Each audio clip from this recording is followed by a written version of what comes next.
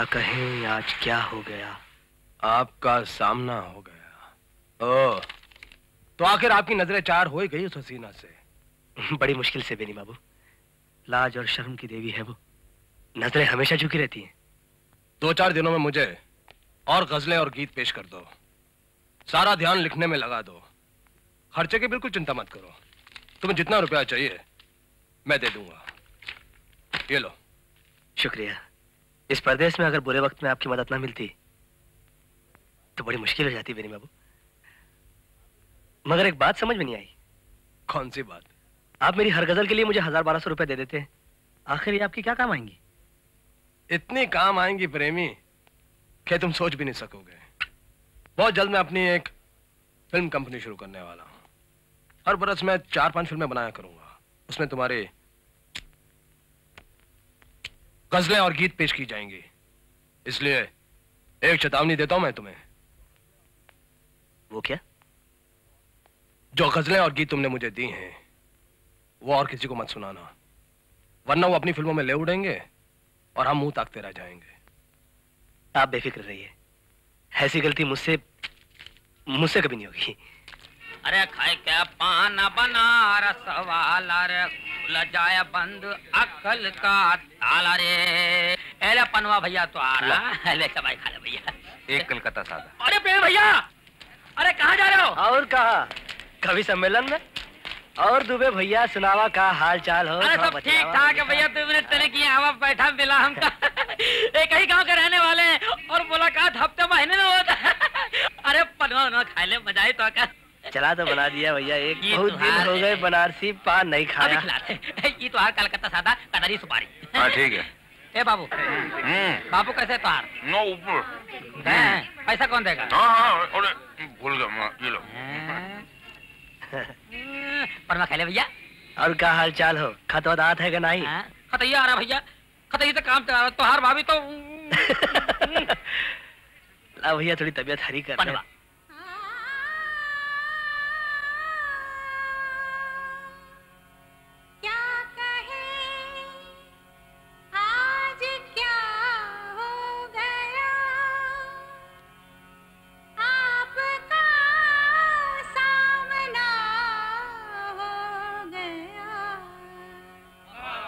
ये शेर किसने गाया दुबे? अरे इसकी आवाज़ सुनकर छूट जाते हैं अच्छे अच्छों के पान।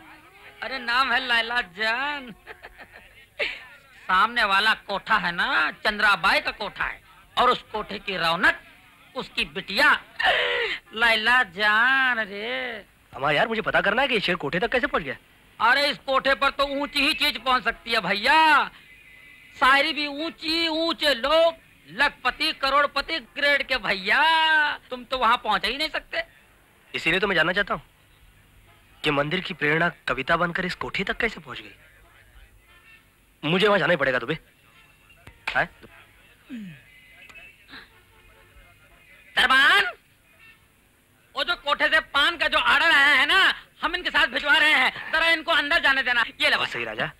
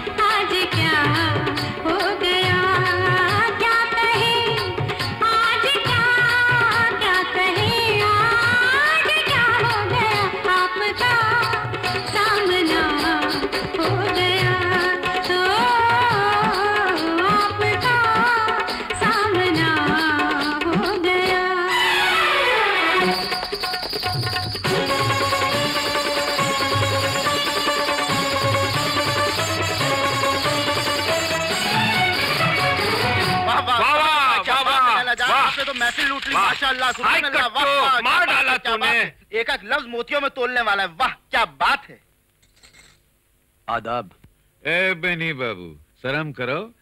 प्रशंसा लैला जान की हो रही है। आप अपने हाथ का पेंडुलम का खिला रहे हैं ऐसे ऐसे करके। जलिए झंझोटिया साहब। खूब जलिए। लैला जान के साथ इस दाद के कुछ हकदार हम भी हैं। हैं? हाँ? जी हाँ। जो गज़ल मैंने अभी आपको सुनाई वो दरअसल बेनी बाबू ने ही लिखी है। हैं?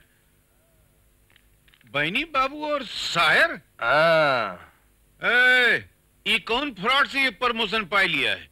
फ्रॉड नहीं लगन से प्रेरणा से। हम सब लैला जान के परस्तार हैं।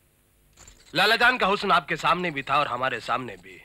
एक को शायर बना दिया और दूसरे को भांड। खूब पहचाना अपने आप को। तुम बने रहो भांड शायर बन के हम दिखाएँगे। अरे कौन है? ओ दरबान जी आप? चक में बास पान पहुँचाने के बहाने ऊपर आया और यहाँ खड़ा फोकट में आके सेकता। अरे नहीं नहीं जब मैं आया था तब मुजरा शुरू हो गया था इसलिए मैं रुक गया। अब मुजरा खत्म हो गया अब मैं अंदर जाता हूँ। ये आप अपने मोटे जिस्म का गलत फ़ायदा उठा रहे हैं। कभी कभी चीटी भी हाथी को भारी पड़ जाती है मैं कह रहा हूँ आपसे देखिए तमीज से क्या बात है भैया? ऊपर से ऐसे उतरे जैसे बिजली का करंट मारा हो। कल लैला जान से अखियाँ वखियाँ लड़ गए का अरे नहीं दुबे भैया। ऊपर कोटे पर जाकर मेरे पैरों तले ज़मीन निकल गई। इस लड़की को तो मैं हमेशा मंदिर में देखता रहा। एक पवित्र देवी के रूप में। वैसे भैया ये लड़की कोठे में बैठ के भी पवित्र है। बड़े बड़े रईस यहाँ लाइन लगा कर चले गए पर लैला जान की तरफ़ से सबको ठेंगा। पूजा के लिए मंदिर में जाती है और नाम है लैला जान। ये क्या राज है? असली नाम लीला है भैया पर इस कोटे के धंधे ने उसे लैला बना दिया है। अब उसमें उसका कोई दोष है? तब तो दुबे। लैला को मंदिर में देखकर मेरे मन में जो भावनाएँ जागी थी वो ठीक ही थी। लैला कीचड़ में खिला हुआ एक कवल है? मैं निकालूँगा उसे इस कीचड़ से। जो कभी ढोलपुर की रियासत हुआ करती थी वहाँ के ठाकुर है हम। नत उतारने की कीमत कीमत हम दोगुनी कर देते हैं। न जाने इस शहर में कितने सेठ पड़े हैं जो नत उतराई का लाख दो लाख देने को तैयार हैं। जाइए ढोलपुर तशरीफ़ ले जाइए। हाँ। हम्म, वो गजलें मेरी हैं ये बात बताए बगैर भी मैं आपको उनके दिल से निकाल सकता हूँ। अरे वो तुम्हें घास भी नहीं डालेगी। लैला जान के करीब जाने के लिए हैसियत चाहिए। दौलत चाहिए या शायरी? और तुम्हारे पास सिर्फ़ शायरी है। शायर होने के साथ साथ मैं एक मर्द का बच्चा हूँ। लैला जान को हासिल करने के लिए आप शायरी का सहारा लेते रहिए। मुझे उसकी दुखती रख से कोई फ़ायदा नहीं उठाना। मर्दों वाले तरीकों से अपनी महबूबा को जीत कर दिखाऊँगा मैं। अरे धरे रह जाएँगे तुम्हारे तौर और तरीके। बिना शायर बने तुम जैसी छोटी हैसियत का आदमी लैला जान के कोठे पर पाँव भी नहीं धर सकता। लैला जान खुद बुलाएँगी मुझे अपने कोठे पर। कबूल किया आपका चैलेंज ये लीजिए एक और गज़ल और चलाते जाइए मेरे कांधे पर रख के बंदूक। उसके बावजूद देखिएगा, होता है क्या? बस इसी तरह मेरी मदद करते रहिए। चाहे बने रहिए मेरे रकीब। लैला जान तो सिर्फ़ अब मेरी ही बनकर रहेगी। बड़ी ही लंबी उम्र है उसकी। आप जिसे याद कर रहे थे उसी का फ़ोन आया है। नौकर के हाथ भेज देती यहाँ पर खुद आने की क्या ज़रूरत थी? इसी बहाने कुछ पर पति के साथ रहने का मौका तो मिल जाता है मुझे। तो आप इनकी पत्नी है। हाँ भैया। इनके चरणों की दासी हूँ। लेकिन इनके मन के मंदिर की रानी तो आज कोई और है। और है तो हुआ करे। मगर बहन जी आज मैंने आपके पति से एक वादा किया है। एक वादा आपसे भी किए देता हूँ। अंत में जो जीत है ना वो आप ही की होगी।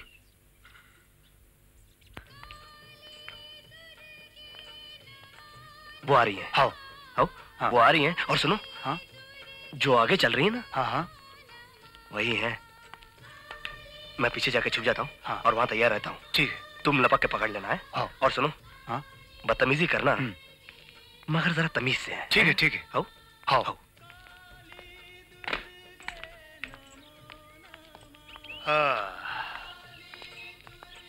तौबा ये मतवाली चाल झुक जाए फूलों की डाल अरे साला इसने तो गुस्से से देखा ही नहीं। ये तो खिल उठी। चलो माँ।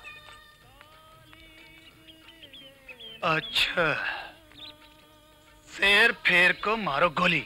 सीधा अटैक चलो कि माँ। हाँ, छोड़ दे, छोड़ हाँ, बर्दाश्त क्या कर रहे हैं? आज मैं जाऊँगा। हाँ, तू। आज मैं जान आज लेके जाऊँगा।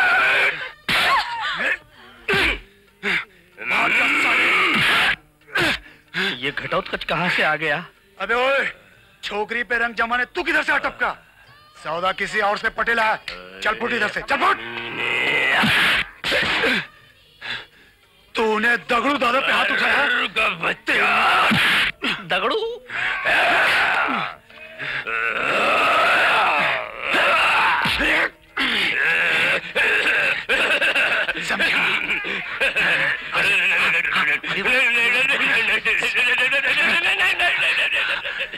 भाग गया साला अब बचकर कहा जाएगी मेरी जान? चल! ये! क्या बात है प्रॉब्लम क्या है? ये छेड़ रहा है हमें। बदमाश है। ये हिम्मत? तेरी ये हिम्मत? मैंने इंसान मंदिर में आके औरतों को छेड़ता है। जल्दी से भाग जा। इतनी जल्दी कैसे भाग जाऊँ? चल बेटी मंदिर में भाग चले।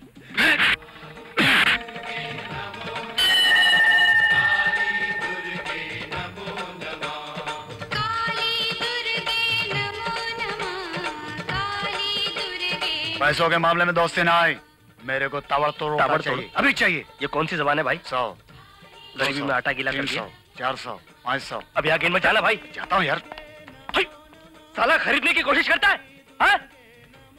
चल चल चल चल चल चल चल चल। घोर कलयुग है भाई घोर कलयुग है क्या जमाना आ गया है?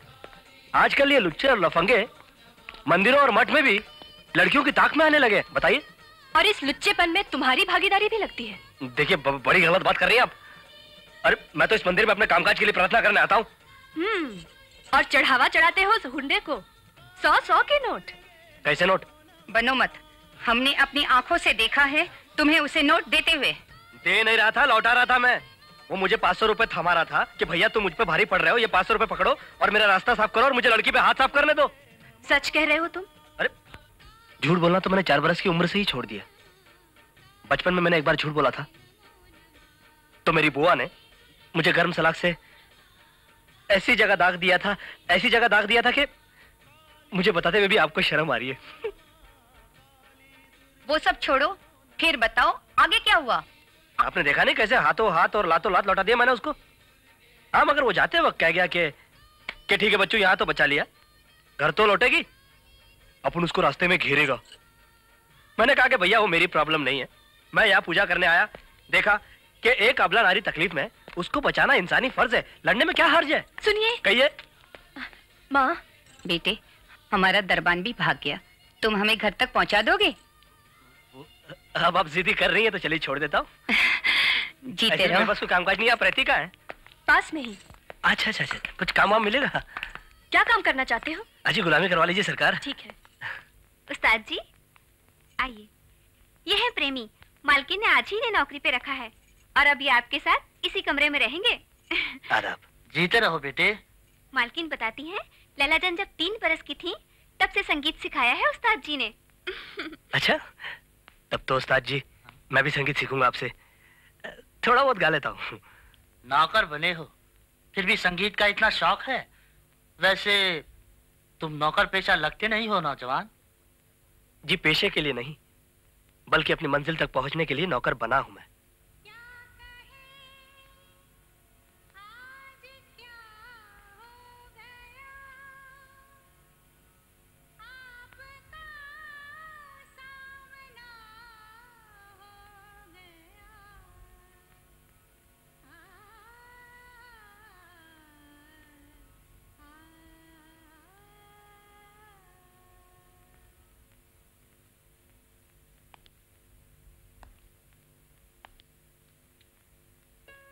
गज़ल पेशे खिदमत है। बेडरूम तक पहुँच गया साला टपोरी। तशरीफ़ रखिए। शुक्रिया।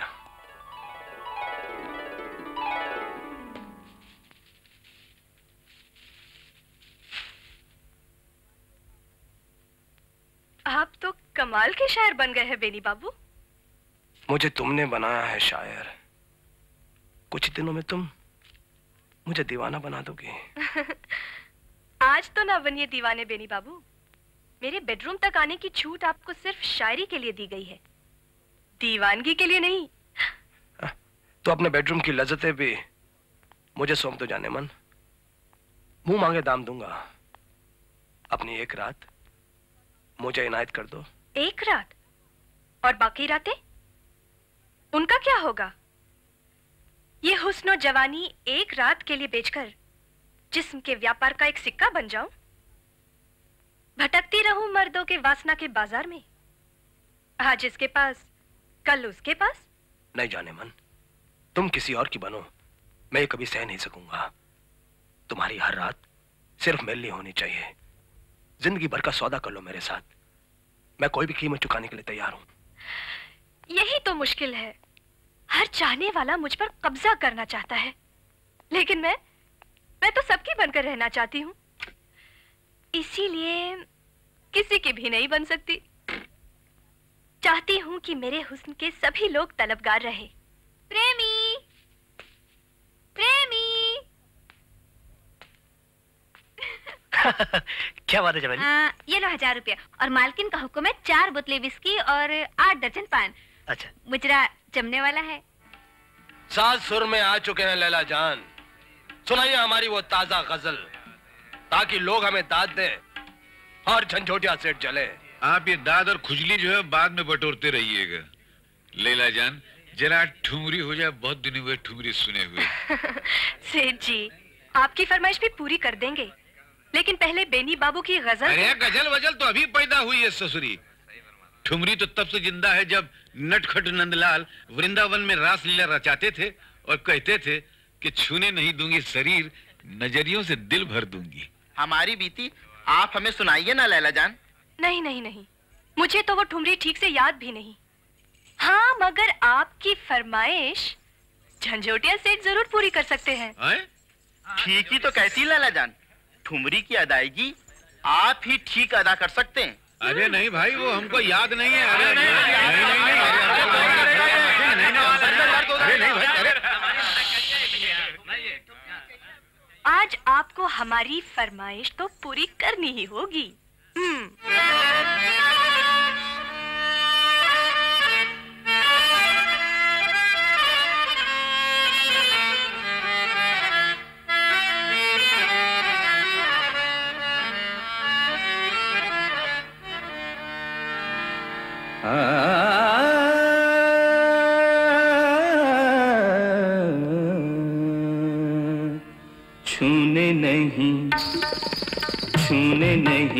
दूँगी शरी नजरियों से दिल भर दूँगी।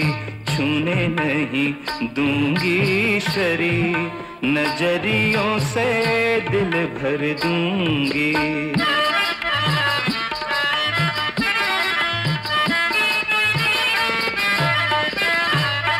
नजरियों से हराम, नजरियों से हराम, नजरियों से दिल भर दूँगी। छूने नहीं दूँगी शरीर, नजरियों से दिल भर दूँगी।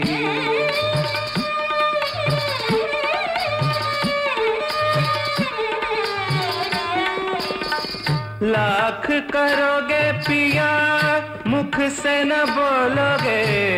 लाख करोगे पिया पिया, लाख करोगे पिया, मुख से न बोलोगे, मुख से न बोलोगे। मुख से न बोलोगे, मुख से न बोलोगे। आप रहोगे दिलगी आप रहोगे दिल की नजरियों से दिल भर दूँगी।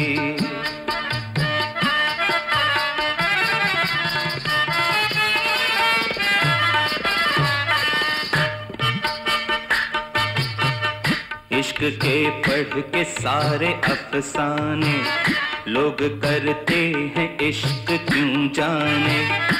इश्क देता है सिर्फ़ रुसवाई। इश्क जिसने किया सजा पाई। फ़ायदा क्या है दिल लगाने से? आग के पास घर बनाने से। छूने नहीं आ, छूने नहीं दूँगी शरीर नजरियों से दिल भर दूँगी छूने नहीं दूँगी शरीर नजरियों से दिल भर दूँगी। कम वक्त। माफ़ी चाहता हूँ मैं। कोठे में नोट बरसाए जाते हैं आपने हम पे पान बरसवाई दिया। मैं बेहद शर्मिंदा हूँ सेठ जी। इसे नया नौकर रखा है। मुआ कायदा कहना भी नहीं जानता। आपने किस बदतमीज को नौकर रखा है? देखिए मेरे कपड़े खराब कर दिए इसने। इसे फ़ौरन नौकरी से बाहर निकालिए। अरे नहीं नहीं। काहे किसी गरीब के पेट पे लात मारते हैं। धोबी के पैसे हमसे ले लीजिएगा। बदतमीज। लीजिए। आए हम पे भड़क रही हैं।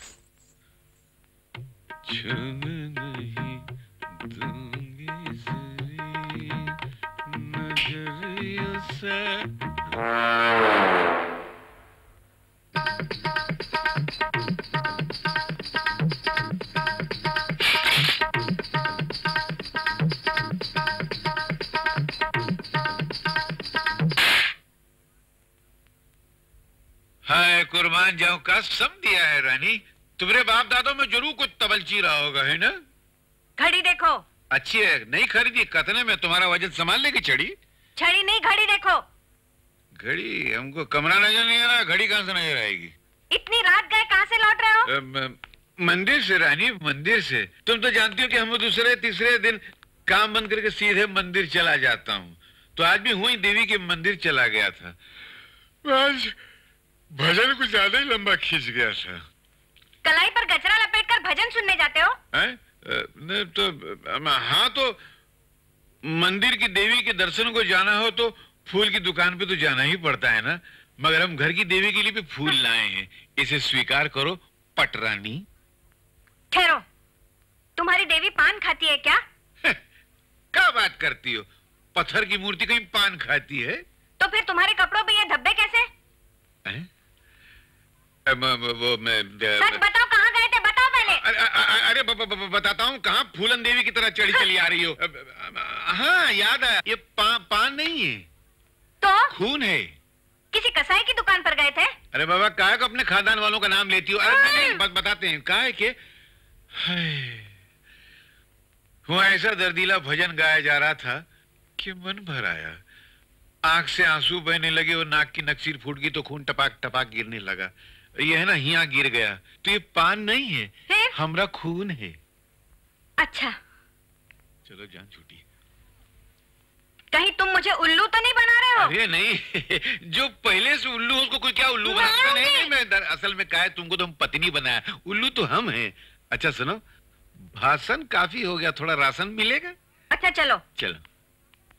अरे आओ प्रेमी भैया सवेरे सवेरे कहाँ गए थे? लॉन्ड्री गए थे भैया। हमारी लला जान का ड्रेस लाने के लिए। अरे वहाँ क्या कहते हैं कि रियाज चल रहा है। घूरू छनक रहे कोठे पर।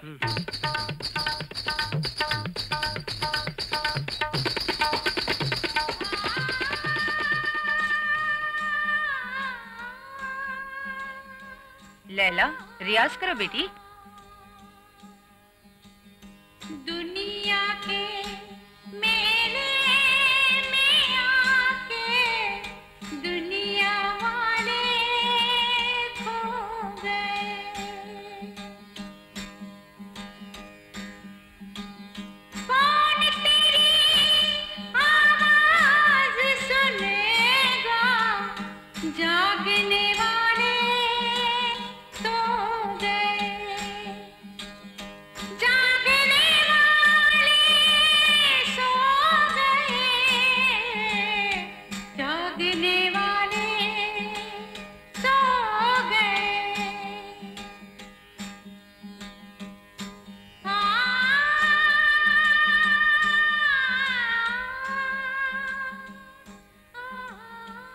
लैला कब तक खड़ी रहोगी खिड़की पे? आओ रियाज करो।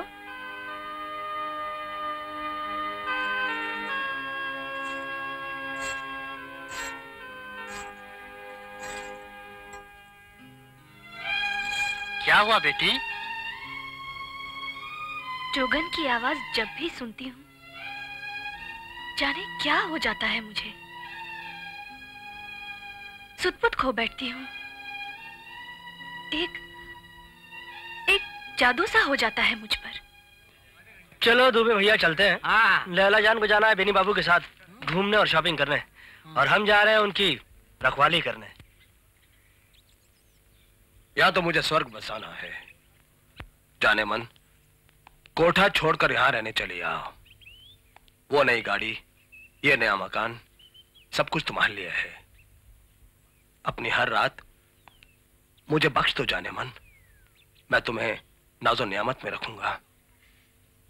मेरे सभी चाहने वाले यही कहते हैं बेनी बाबू। थोड़ा सा इंतज़ार कीजिए। जब मेरी उम्र ढलने लगेगी और किसी एक का बनने का वक्त आएगा तो शायद मैं आप ही को चुनूँगी। ये औरत कौन है? तुम क्यों आई हो यहाँ पर? क्या पति के घर आने के लिए पत्नी को इजाज़त की ज़रूरत होती है? मैंने ये घर तुम्हारे लिए नहीं बनवाया है।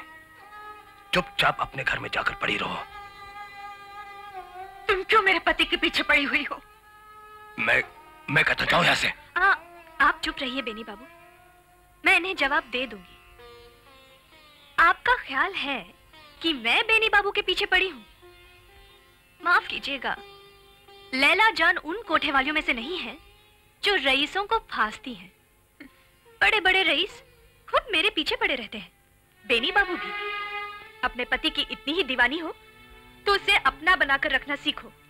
और कैसे बनाओ उनकी हर आज्ञा तो मानती हूँ। हर तरह से जी जान से उनकी सेवा करती हूँ। आज्ञा मान के सेवा करके बनी रहो इनके जीवन में नौकरानी। शौकीन पति को अगर अपने बस में करना है तो दिलरुबा बनो देवी जी। ये सीधी सादी गाय बनकर कुछ नहीं होगा। जरा लिपस्टिक लगाओ थोड़ा सा फैशनेबल बनो। तरह तरह की अदाओं से दिल लुभाना सीखो। अगर आज तुम्हारे पति मेरी तरफ़ खिंच रहे हैं तो इसमें मेरा कोई दोष नहीं। दोष खुद तुम्हारा है।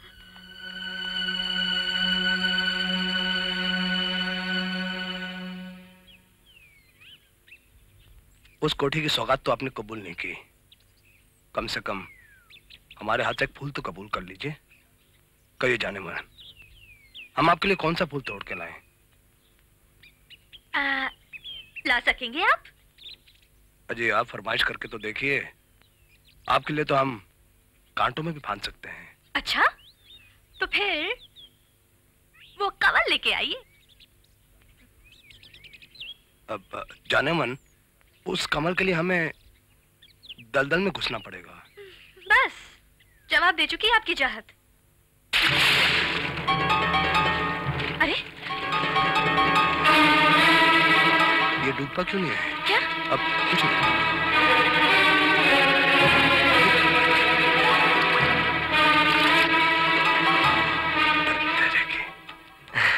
ये लीजिए सरकार।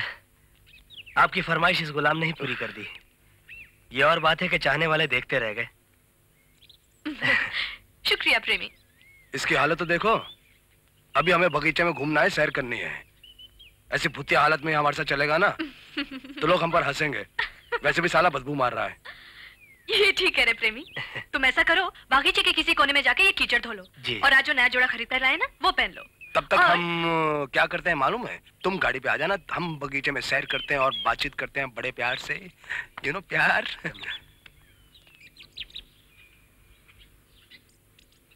सभी मिलने को मिलते हैं मगर कब दिल से मिलते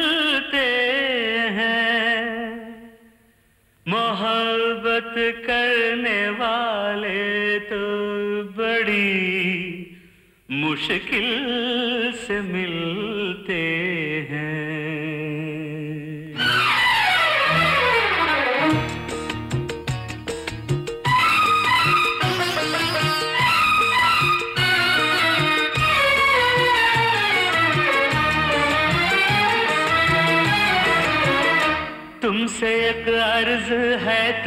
तुम अगर मान लो, बात सबसे करो, प्यार हमसे करो, बात सबसे करो, प्यार हमसे करो। तुमसे एक अर्ज़ है, तुम अगर मान लो, बात सबसे करो, प्यार हमसे करो, प्यार हमसे करो, प्यार हमसे करो।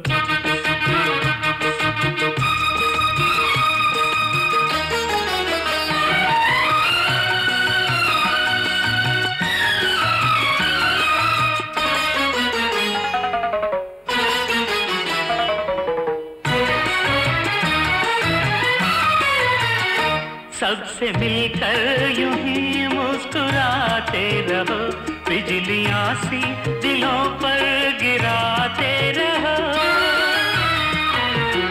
सबसे मिलकर यूँ ही मुस्कुराते रहो। बिजलियाँ सी दिलों पर गिराते रहो। अपना दीवान सबको बनाते रहो। अपना दीवान रहो बस मोहब्बत का इकरार हमसे करो, बात सबसे करो, प्यार हमसे करो बस मोहब्बत का इकरार हमसे करो, बात सबसे करो, प्यार हमसे करो, प्यार हमसे करो हाँ।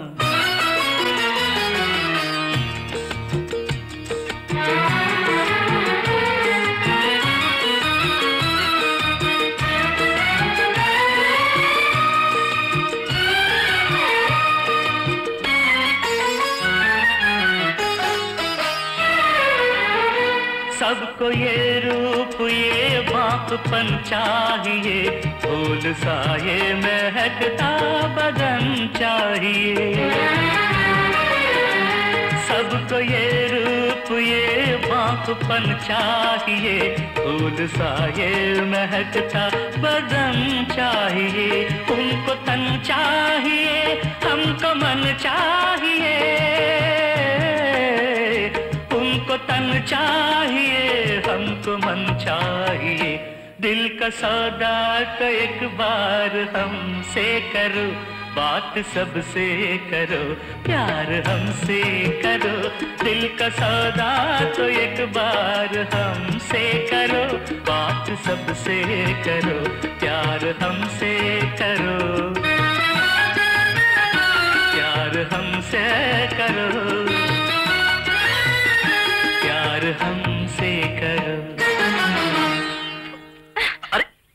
रहे थे? नहीं नहीं मैं तो सुन रहा था। देखने आया था कि कौन गा रहा है। किसी धासु कवि या शायर की आवाज़ लगी तो मैंने कहा कि चलो सुन लेते कौन था वो शायर? पता नहीं कौन था। तुमने देखा उसे? नहीं मैंने नहीं। हाँ लेकिन बेनी बाबू ने ज़रूर देखा है। बेनी बाबू बाबू ने? बताइए ना कौन है वो शायर? मैंने किसी को नहीं देखा। अरे मैं तो तुम्हारे साथ था। ऐसा क्यों कहते हैं? बता दीजिए ना। मैंने किसी को नहीं देखा। हाँ आप कैसे देखेंगे? शायर तो बस आप हैं। अब लैला जन आओ। चलते हैं। अच्छा। अच्छा।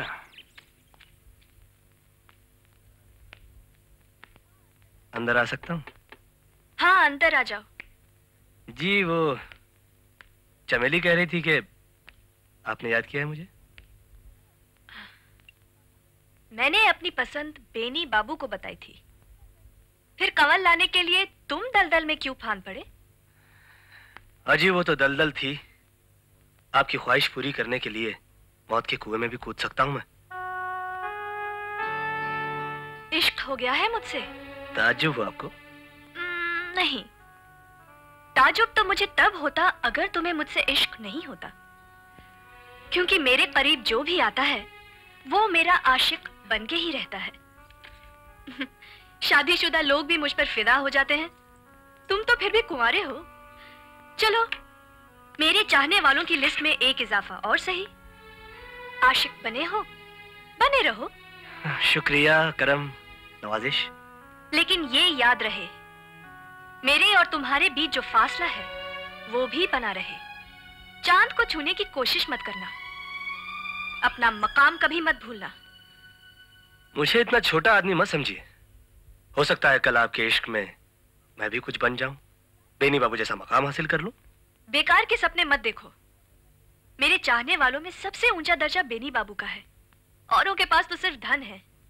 बेनी बाबू के पास फन भी है। बेहतरीन शायर हैं वो। यानी कि आपके नज़रों में बेनी बाबू अच्छे शायर हैं। अच्छे? बहुत अच्छे। उस दिन उनकी ताज़ा गज़ल महफिल सुनती तो झूम उठती। बस झंझोटिया सेठ ने सुनाने नहीं दिया। तो फिर ठीक है। कल सुनवाइए और झुमवाइए महफिल को। और अगर आपकी इजाज़त हो तो कल का तमाशा मैं भी देखूँ। हाँ देख लेना। सी आई झंझोटिया।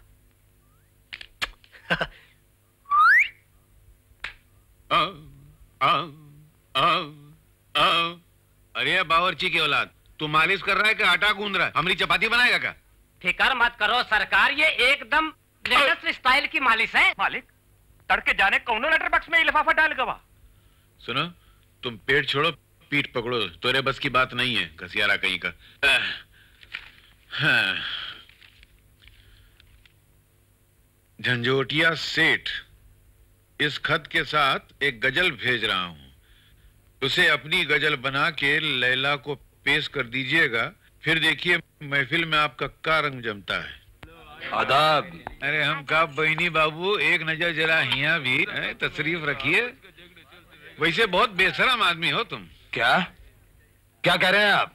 नहीं घर में सती सावित्री पतिव्रता पत्नी बैठी है उसको छोड़ के आप यहाँ आते हैं। वो बेचारी तो धाड़े मार मार के रोती होगी। अरे तुम्हारी पत्नी भी तो रोती होगी।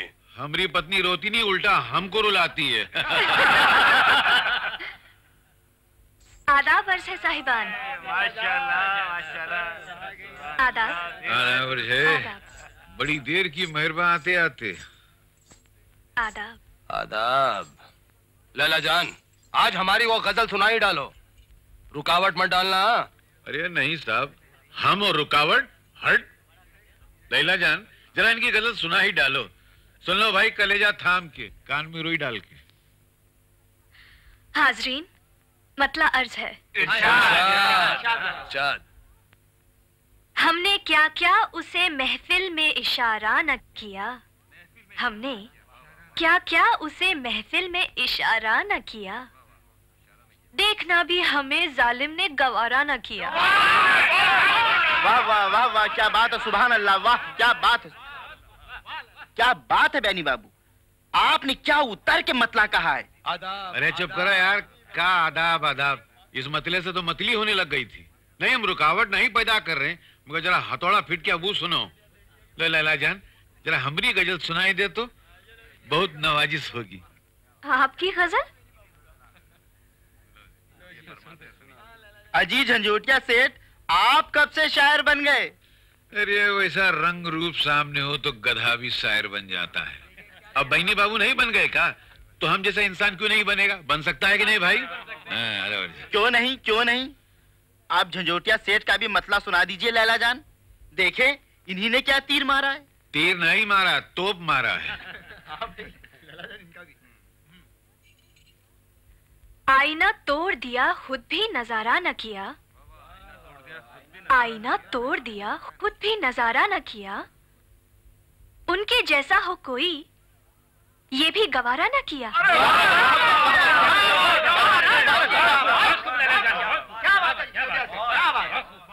वाह। क्या बात है झंझोटिया सेठ? आपने तो वाकई हथौड़ा फिट कर दिया है। इसी ज़मीन में इसी बहर में क्या लाजवाब शेर कहा है। सुभान अल्लाह हाँ, हाँ। बहनी बाबू बर्दाश्त नहीं हो रहा है? नहीं हो रहा है। का लिखा है? हाँ कहा है। ठीक से जबान बोलनी आती नहीं है। चले हैं शेर कहने जबान से नहीं कलम से लिखा है उल्लू की धूम। खामोश। जबान संभाल कर बोलिए झंझोटिया सेठ। ए, तुम वो कोना संभालो? यहाँ सब लोग हमारी गज़ल सुनना चाहते हैं। तुमने अगर अड़ंगा लगाया ना तो कुलाट खाओगे। मुझसे उलझोगे तुम। अरे भरी महफिल के अंदर इज़्ज़त उतार के रख दूँगा मैं। अरे हम तोरी पतलून उतार देंगे। अरे क्या उतारेगा भाई, तू? आप लोग भी क्या बचपना कर रहे हैं? अरे हम तेरा टुकड़ा करके सितार के अंदर दफन कर देंगे। हवा में? समझता है साला तुम अरे कोठे को दो मिनट में अखाड़ा बनाता क्या बोलता है तुम? और अखाड़े को दो मिनट के अंदर कोठा बना देंगे। अरे भाई जरा समझाइए इन्हें। तो कि गज़ल फाड़ के साला शेर बना देंगे। अरे बुढ़े दो हाथ दूँगा ना तो खानदान का नाम भूल जाएगा। गंजा कर देंगे जबान जबान नहीं तो जो पच्चीस हाथ में दे दूँगा। हाथ पीछे कर। एक हाथ दिया ना अपने घर का एड्रेस भी भूल जाएगा। सरकार? हम्म। ये आपने कैसे कैसे आशिक पाल रखे हैं? ये दोनों तो आपके लिए ऐसे लड़ रहे हैं जैसे एक मुर्गी के लिए दो मुर्गे। बको मत। झंझोटिया सेठ मेरे आशिक नहीं कदरदान है संगीत प्रेमी है इसीलिए यहाँ चले आते हैं। खैर छोड़िए। आप ये दोनों गजलें बाहर भुलाई थी एक बेनी बाबू की और दूसरी झंझोटिया सेठ की और मैं चाहता हूँ कि आप इन्हें गौर से देखें। क्या देखूँ? ये देखिए। इन दोनों की लिखावट भी एक जैसी है और इतना नहीं बल्कि मीटर भी एक है। अरे हाँ दोनों की लिखाई तो एक जैसी ही है। लगता है एक ही शायर ने दोनों गजलें लिखी हैं। अरे अपने बेनी बाबू है ना? वो शायर है। उन्होंने झंझोटिया सेठ को गज़ल लिखकर दे दी होगी। हम्म, पागल हो गए हो। दोनों की आपस में ठनी रहती है। झंझोटिया सेठ को तो बेनी बाबू कभी गज़ल नहीं देंगे। तो फिर कौन हो सकता है? इसका तो साफ़ एक ही मतलब निकलता है कि जिस शायर ने झंझोटिया सेठ को गज़ल दी है वही बेनी बाबू को गजलें देता आ रहा है। कौन हो सकता है वो गुमनाम शायर? आधा वर्ष है। क्या मतलब? जी मेरा मतलब है कि मैं भी इस नतीजे पे पहुँचने वाला था कि ज़रूर कोई तीसरा छुपर रुस्तम है जो इन दोनों को गजलें लिखकर देता है। आधा वर्ष लला जान अ, इस बदमजगी के लिए मैं आपसे माफ़ी चाहता हूँ। लेकिन आप तो अच्छी तरह से जानती हैं कि वो बेवकूफ़ झंझोटिया हमेशा मुझे डंक मारने की कोशिश करता है। लेकिन आज आज मैं बहुत शर्मिंदा हूँ। प्रेमी जी? माँ से जाके कह दो कि आज मेरा मुजरा करने का मूड नहीं है। सबसे जाने के लिए कह दे। जी फ़ौरन भेज देता हूँ। अगर आपकी इजाज़त हो तो शुरुआत बेनी बाबू से करूँ? नहीं। एक मिनट पूछ रहा हूँ। मुझे इनसे कुछ ज़रूरी बात करनी है। तुम जाओ। जी बहुत अच्छा। बहुत अच्छा। आधा वर्ष है लला जान। बेनी बाबू आप जानते हैं कि अच्छी शायरी मेरी दुखती रग है। इसीलिए शायर बनके मुझे रिझाने की कोशिश कर रहे थे। तुम कहना क्या चाहती हो? ये देखिए एक गज़ल आपकी है और एक झंझोटिया सेठ की लेकिन दोनों की लिखाई बिल्कुल एक जैसी है। अब आप सच सच बताइए कि आपको गज़ल लिख के देने वाला वो गुमनाम शायर कौन है? प्रेमी ने भड़काया तुम्हें? प्रेमी क्यों भड़काएगा मुझे? वो तो खुद जानना चाहता है कि वो गुमनाम शायर कौन है। मेरी गज़ल का शायर मैं हूँ जाने मन। यकीन मानो ये तो महज इतफाक है कि इसकी लिखाई मेरी लिखाई से मिलती जुलती है। ठीक है। तो फिर सबूत पेश कीजिए। कागज़ भी हाजिर है और कलम भी। ठीक वैसी ही लिखाई लिख के दिखाइए। दिखाइए। हद हो गई। इतना जलील मैं आज तक नहीं हुआ। मेरी जबान पे तुम्हें भरोसा नहीं रहा। सबूत चाहिए तुम्हें। मत भूलो लैला जान। आज तक मैं तुम पर दौलत लुटाता रहा हूँ। तुम्हारे नाज उठाता रहा हूँ। अगर तुमने मुझे और जलील किया तो मैं तुम्हारे इस कोठे पर कभी नहीं आऊँगा। आपकी मर्ज़ी, बेनी बाबू। मुझ पर दौलत लुटाने वाले, नाज उठाने वाले और भी कई रईस हैं। लैला जान का दम सलामत रहे। चाहने वालों की कमी नहीं है। जवाब दो। तुमने झंझोटिया को गज़ल क्यों दी? झंझोटिया ने कितना पैसा दिया था जो हम नहीं दे सकते थे? एक पैसा नहीं लिया मुफ़्त में दे दी मैंने वो गज़ल बाय लेटर बॉक्स। अभी तक तो झंझोटिया को भी नहीं मालूम होगा कि वो गज़ल उसे मैंने दी। तुम्हारा इरादा क्या है? फरेब मास्टर के सामने सच बोल दूँ? बोलो। लैला जान के कोठे पर आपकी गुड्डी सबसे ऊँची थी। उसे डाउन करने के लिए मैंने झंझोटिया सेठ की गुड्डी ऊँची कर दी। यानी कि मुझसे दुश्मनी करने पे तुल गए हो। Everything is fair in love and war मोहब्बत और जंग में सब कुछ जायज़ है। देखिए बेनी बाबू, लैला जान से आपको भी इश्क है और मुझे भी। और हाँ अगर आप मुझसे दोस्ती रखना चाहते हैं तो लैला जान को बता दीजिए कि शायर मैं हूँ। मगर आप तो बताने से रहे। इसलिए दाव खेलकर लैला जान को मैं ये बताना चाहता हूँ कि आप शायर नहीं है। देखिए बेनी बाबू बुरा मत मानिएगा ये हकीकत है। मैं आपकी तरह फरेब मास्टर नहीं हूँ। इजाज़त है? मैं चलता हूँ। ठहरो प्रेमी। आइंदा भी अपना वचन निभाओगे क्या? लैला से कभी नहीं कहोगे कि तुम ही असली शायर हो? पहले भी कह चुका हूँ मर्द की जबान एक वचन दिया है सो मरते दम तक निभाऊँगा। फिर तो इश्क में जीत मेरी होगी। मुझे खतरा एक शायर से था। नौकर को तो लैला जान अपनी ठोकर से उड़ा देगी। अरे गले से लगाएगी बेनी बाबू। आज ये भी वादा रहा।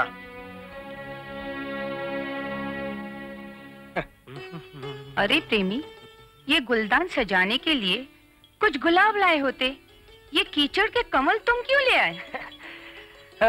जिस लड़की से मुझे इश्क है ना उसे भी ये कमल बड़े पसंद है। किस मेंढकी से इश्क कर बैठा है माटी मिले? वो भी किसी कीचड़ में ही पली होगी। मैं ये कैसे कहूँ? आइए। तशरीफ़ लाइए आदाब तशरीफ़ रखिए सेठ जी। ये सवेरे सवेरे कैसे आना हुआ? बस ऐसे ही। कहा है कि राजगढ़ के ठाकुर जो हैं हमारे परम मित्र हैं। तो इस पूर्णिमा को उनकी बेटी का ब्याह है। उसके जश्न में लैला जान का जो मुजरा है वो हम फिक्स करके आए हैं। ठाकुर साहब को हम जबान दिया है। माफ़ कीजिए सेठ जी। मैं अपना कोठा छोड़कर बाहर मुजरा करने कहीं नहीं जा सकती। अरे अगर हम लैला जान होते ना तो नाच नाच के पूरे भारत को नचा देते। हंस रही हो मगर चलने को नहीं कह रही हो। नहीं। चलोगी ना? नहीं। अरे यार समझाओ ना इसको।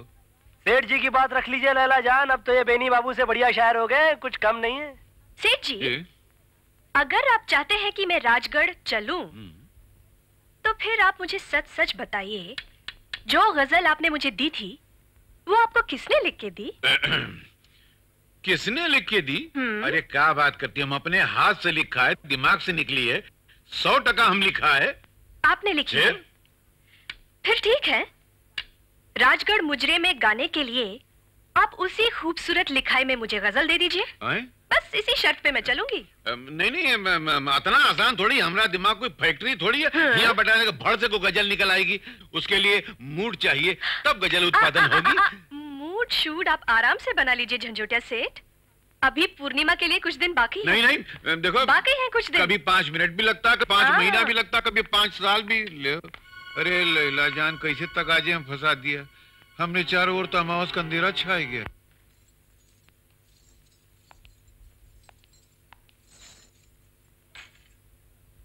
मैं जानती थी। ना आने की धमकी देने के बाद आप ज़रूर आएँगे। आप तशरीफ़ ले जाइए। मैं आराम करना चाहती हूँ। उस धमकी का जुर्माना अदा करने दो। चला जाऊँगा। कैसा जुर्माना? ये नेकलेस लाया हूँ। तुम्हारी मरमरी गर्दन के लिए। रहने दीजिए बेनी बाबू रहने दीजिए। आप फिर से ताना देंगे। तुम पर अपनी दौलत लुटा रहा हूँ। अरे तुम पर तो मैं अपनी जान तक लुटा सकता हूँ जाने मन। वादा करता हूँ कि ताने नहीं दूँगा। अपने हाथों से हार मुझे पहनाने दो। ठीक है पहना दीजिए।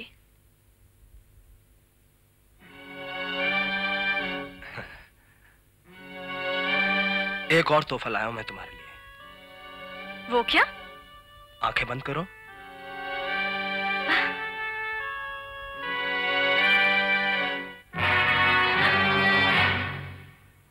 हद से गुजर रहे हैं, बेनी बाबू। तोड़ दो ये सब हदें।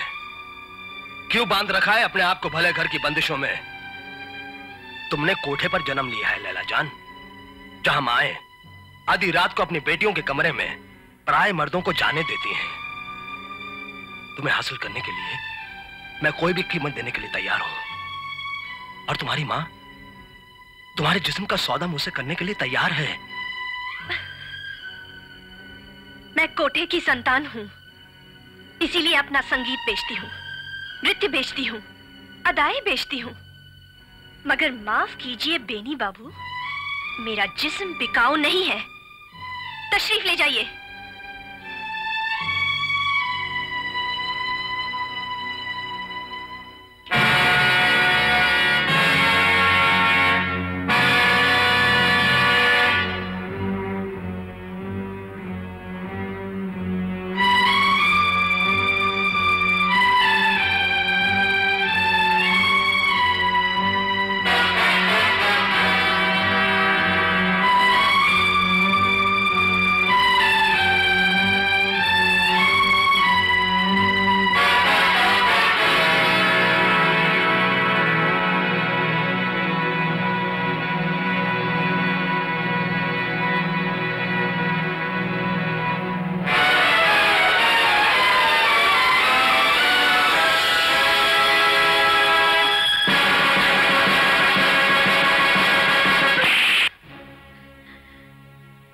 उंगलियों में कहीं चोट तो नहीं आ गई आपकी? बदमाश तुम्हारी ये जुर्रत? बेनी बाबू ने भी तो आपको चुमा था। उन्हें तो आपने थप्पड़ नहीं मारा। वो इस शहर के माने हुए रईस है और मेरा पेशा है दिल रुबाई। जो लोग मुझ पर दौलत न्यौछावर करते हैं उन्हें अपने पेशे की खातिर मैं थोड़ी बहुत छूट दे देती हूँ। लेकिन इसका ये मतलब तो नहीं कि तुम जैसा दो टके का नौकर भी मुझसे बदतमीजी करने लगे। इश्क में हम जैसे गरीबों का दिल बेकरार हो जाए तो बदतमीजी है। अमीरों का हो तो जायज़ है आपकी नज़रों में हाँ? कोई है? मेरी बात सुनी लाला जान मेरी मोहब्बत को रुपयों में मत तोलिए। हो सके तो परख के देखिए मुझे। जो दर्जा मैं आपको दे सकता हूँ दूसरा कोई नहीं देगा। बकवास बंद करो अपनी। तुम मुझे क्या दे सकते हो? समाज में सम्मान। अपनी पत्नी का दर्जा दूँगा मैं आपको। पूछ कर देखिए अपने उन आशिकों से। उनमें से कोई शादी करेगा आपसे? अपनी पत्नी बनाएगा आपको? नहीं बनना है मुझे किसी की पत्नी। मुझे कई लोगों के दिलों की महबूबा बनके जीना है। पत्नी देख चुकी मैं पत्नी का दर्जा क्या होता है। पति के पैरों की जूती होती है वो। उसे छोड़कर लोग यहाँ चले आते हैं मेरे पास मेरे तलवे चाटने के लिए मेरे नाज उठाने के लिए। मुझे नहीं बनना है किसी के चरणों की दासी। और फिर तुम्हारी औकात? औकात बदल भी तो सकती है। बड़ा नाज है आपको अपने हुस्न पर हाँ?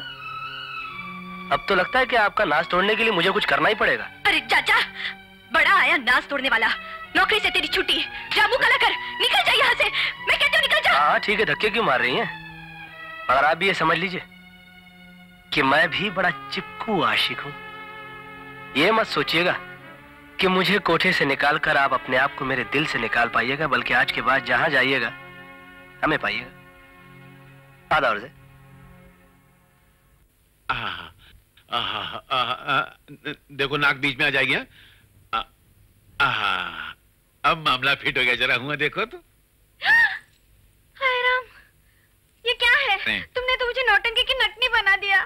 देखो टाइम बहुत कम रह गया हमको गज़ल तैयार करनी है। तुम एक काम करो कुछ करो हमारे साथ हमरे ऊपर गिर जाओ। नहीं नहीं तुम तुम नहीं करो बहुत वज़न है। हमरे ऊपर बिजलियाँ गिराओ। सटिया गए हो क्या? तुम पर बिजली गिरी तो मेरा घर नहीं जलेगा। अरे घटाओं की बिजली नहीं फूलन देवी। क्या? मतलब मन की देवी हाँ। अदाओं की बिजली। हिया जब चार हज़ार चार सौ चालीस वोल्ट का करंट लगेगा तो हिया से गज़ल निकलेगी। चलो जरा नखरा दिखाना तो। कैसे? मधुर मुस्कान से नैनों के बाँध से और इठलाती चाल से। अरे का भैंस की तरह खड़ी फुन फनाए रही हो? हिरनी की तरह इठलाए कि चलो? लैला अच्छा चलती हूँ हाँ चलती हूँ। ओ डीजल इंजन वापिस आओ। एक्सीडेंट करने जा रही हो का? नहीं। अरे जरा नजाकत से। हाँ। फूल की भांति हाँ। लहराए के चलो। अच्छा चलो। अच्छा अच्छा। आहा, हुई गवा उत्पादन। फुदक फुदक तू चाल चले। नाम तेरा हिरनी कोमल। ठुमक ठुमक खूले ठुमके। हम देख रहे हैं आँखें मलमल। दांत तेरे भुट्टे दाने। दिल छेद रहे हैं नैना चंचल। ये रूप तेरा भारी भरकम। हम प्यार करेंगे लड़े दंगल। सेठ जी है? अरे काहे को मर्दाना आवाज़ में बात करती हो यार? मैं नहीं हाँ। कोई आया है? अरे काहे को मज़ा खराब करा? कौन है बे कौन है भाई? पहचाना नहीं सेठ जी आपने? नहीं तो? मैं हूँ प्रेमी। अपनी लैला जान के कोठे पर क्या करता है बे? हमरी मोटी लैला जान ने अगर सुन लिया तो हमको सीधे कब्रिस्तान पहुँचा देगी। पिटवा काका। क्यों जी? इसका मुँह क्यों दबोचे हो? नहीं हम यहाँ जरा खुशबू लगाए कि इसको सुंघारे थे ना? नहीं तो। हाँ? हाँ हाँ नहीं ये किसी कोटे का ज़िक्र कर रहा था। को, को, को, को, कोठा? अरे नहीं नानी। जी? माफ़ करना रानी। हाँ। कोठा नहीं कोठी कोठी। तुम ठीक और ठा समझ रही थी। जरा कान साफ़ करा लो ठीक नहीं है।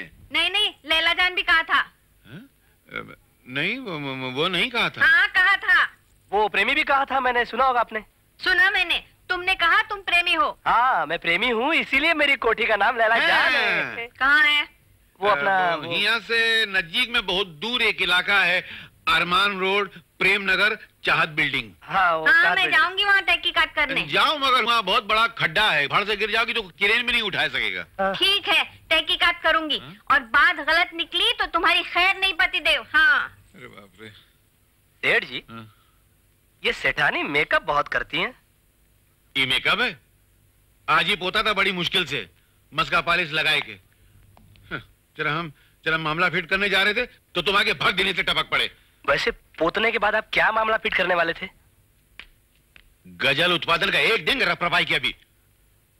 लैला जान कह रही थी कि बिना गज़ल के हम राजगढ़ नहीं जाएँगे तो हमारा तो मुँह काला हो जाता। हम ठाकुर साहब को कौन सा चौकटा दिखाते?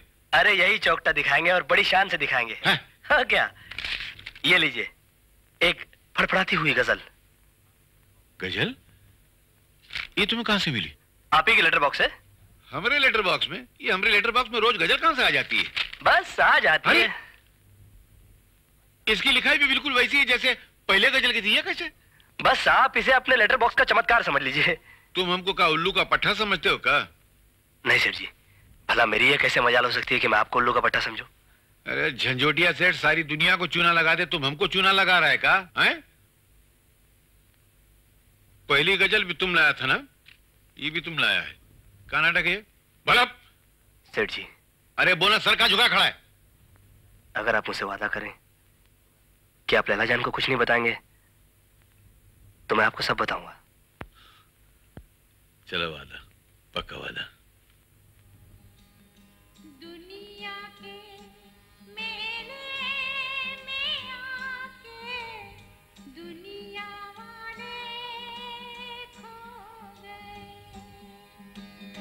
दुनिया के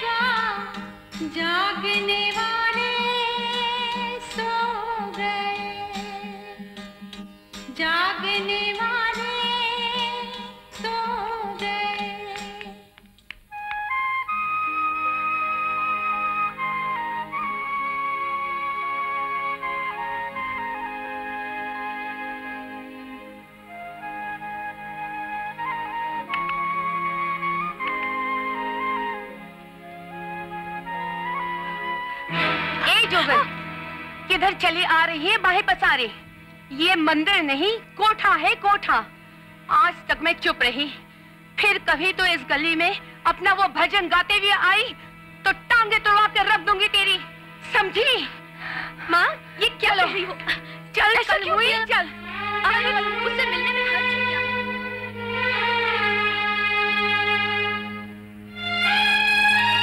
माई जरा रास्ता तो तुम जाई। तो गज़ल की हो गई दुहाई। चना भाई ए लैला जान ये देखो हम फिट करना है धांसू गज़ल। चलो राजगढ़ चलने की तैयारी शुरू करो।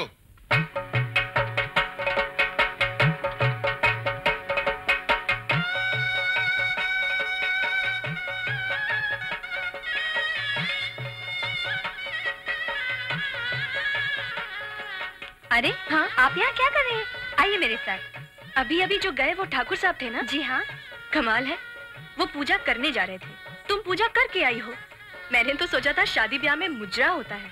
लेकिन यहाँ तो पूजा ही पूजा है। शादी ब्याह जन्म जन्म का बंधन है बहन जी। इस पवित्र बंधन में बंधने के लिए जितनी भी पूजा की जाए कम है। पवित्र बंधन? या मर्दों की गुलामी का बंधन? गुलामी नहीं प्रेम का बंधन। ऐसा अमर प्रेम जो हर पति पत्नी को अगले जन्म में भी एक दूसरे का बनाता है। अगला जन्म किसने देखा है?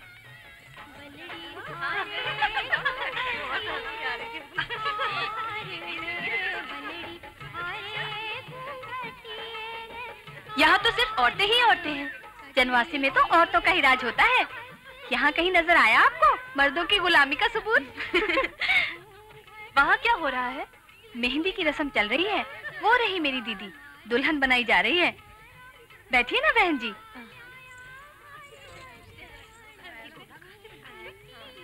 कांता मौसी तो मेहंदी से ऐसे बेलबूटे बनाती है कि बस देखते ही रह जाओ। मौसी इनके हाथों में भी लगाओ ना मेहंदी। मेरी? लाओ बेटी हाथ लाओ। दूसरा हाथ मुझे दो। मेरी भी कारीगरी देखो ना। कौन है ये? ब्याह में आई हैं। ऊँचे कराने की लगती है। रंग रूप बताता है कि रघु में राजपूती खून है। क्या हुआ बहन? बड़ी गर्मी लग रही है गला सूखा जा रहा है। तो लो बहन ठंडा शरबत पियो।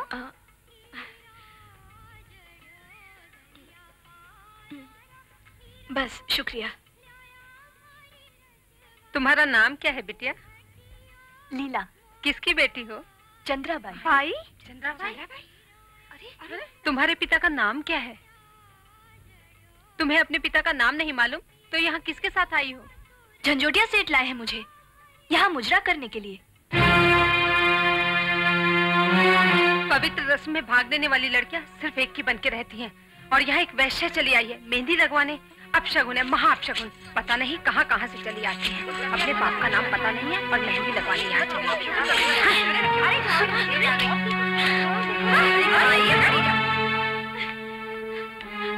हाँ हाँ क्या चाल है? तुम? आदाब अर्ज़ है। क्या बात है बड़ी तिलमिलाई हुई चली आ रही है। लगता है जनवासे में सर्टिफिकेट मिल गया। भाई बड़ी बेइज्जती हो गई आपकी। मुझे भी बहुत बुरा लगा। मगर चलिए इसी बहाने आपको ये तो पता चला कि समाज में जगत महबूबा की क्या इज़्ज़त होती है। तुम यहाँ कैसे? अरे मैंने कहा था ना कि जहाँ जाइएगा हमें पाइएगा। अरे। मैं अभी झंझोटिया सेठ को बोलकर तुम्हें इस हवेली से बाहर अरे सुनिए। अरे उन्हीं का तो सेक्रेटरी बनकर आया हूँ यहाँ पर। सेक्रेटरी हाँ? ये टाइटल तुम्हें कब से मिला? बस यूँ ही मिल गया। फ़िलहाल मैं यहाँ पर आपके पतिदेव का टाइटल लेने आया हूँ। सिर्फ़ जूतियाँ मिलेंगी तुम्हें। अच्छा?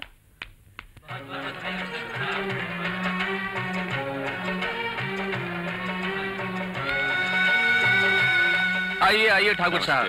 आप ही का इंतज़ार था। ये है हमारे खास दोस्त सेठ झंझोटिया। और आप हैं ढोलपुर के ठाकुर चंद्रभान। मुजरे के शौकीन। इनका टेरिलर हम पहले देख चुके हैं। ये लैला जान के कोठे पर पतंग की तरह नोट उड़ाते हैं।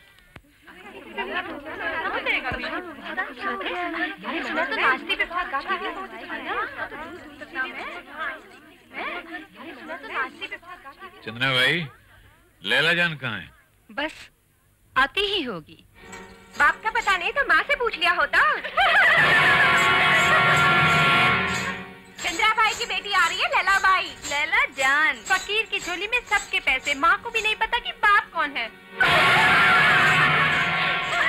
मुझे तो सवेरे से मतली आ रही है। छी छी छी। छूटा जो पिया है वेश्या का मैंने। माँ क्या मैं मुजरा नहीं करूँगी? क्यों? क्या हुआ बेटी? क्या हुआ? यहाँ की औरतें मेरे पाँव की जूती भी नहीं है। और मुझे जलील करती हैं। बस बहुत हो गया। मैं नहीं नाचूँगी इनके लिए। ऐसी नादानी नहीं करते बेटी। समझने की कोशिश करो। कहा कुसुर पुसुर चल रही हुआ है चंद्रा भाई कमाल है। लैला जान हमारी गज़ल सुनाओ। माफ़ कीजिए सेठ जी। आपकी वो गज़ल मैं शहर में ही भूल आई। ये कहा गजब किया लैला जान? तुमने झंझोटिया को निचोड़ डाला। अरे लैला जान छोड़ो इनकी गज़ल। जो भी तुम्हें अच्छी गज़ल याद है वो सुना दो। माफ़ कीजिए ठाकुर साहब इस वक्त मुझे कोई भी गज़ल याद नहीं। आप अपनी मुजरे की रकम वापस ले लीजिए। लैला जान हम राजवंश के लोग हैं। मुजरे वालियों पर पैसा लुटाते हैं उनसे वापस नहीं लेते। गुस्ताखी माफ़ हो ठाकुर साहब। लैला जान को इस वक्त गज़ल याद नहीं तो ना सही। नाचना तो याद होगा। या वो भी भूल चुकी हैं आप? घुरिए मत घुंघरू बांधिए। ठाकुर साहब ये क्या? सिर्फ़ नाच होगा? गाना नहीं? अजी गाना भी होगा जनाब। मैं पेश करूँगा। मेरे गीत पर अपने पायल की संगत तो करने दीजिए ना जरा। छक्के छुड़ा दूँगा तुम मेरे छक्के छुड़ाओगे? तुम्हें कुछ मालूम भी है सरगम क्या चीज़ है? सुर ताल किसे कहते हैं? अजी आप संगत तो करके देखिए जनाब। आपके पैरों में बंधे हुए घुंघरू ना बिखरा दूँ तो प्रेमी नाम नहीं मेरा। अरे जियो लल्ला तुम तो छुपा रिश्ते में निकला रे। उसने तुम्हें चैलेंज किया है। अपने फन पे नाज है तो बांधो घुंघरू। ठीक है ठाकुर साहब मगर एक शर्त पर। अगर ये हार जाए तो इसका मुँह काला करवाकर सारे राजगढ़ में गधे पर इसका जुलूस निकाला जाए। चलिए मंजूर है और अगर जीत गया तो इनाम क्या मिलेगा? हम तुम्हें खुश करेंगे। अजी आप नहीं ठाकुर साहब। लैला जान खुश करेंगी। इन्हें गर्मा गर्म इनाम देना होगा।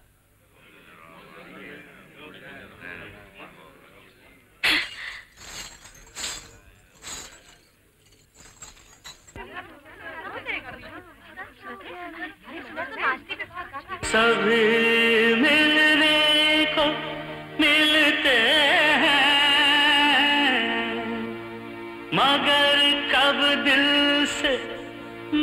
से हैं? मोहब्बत करने वाले तो बड़ी मुश्किल से मिल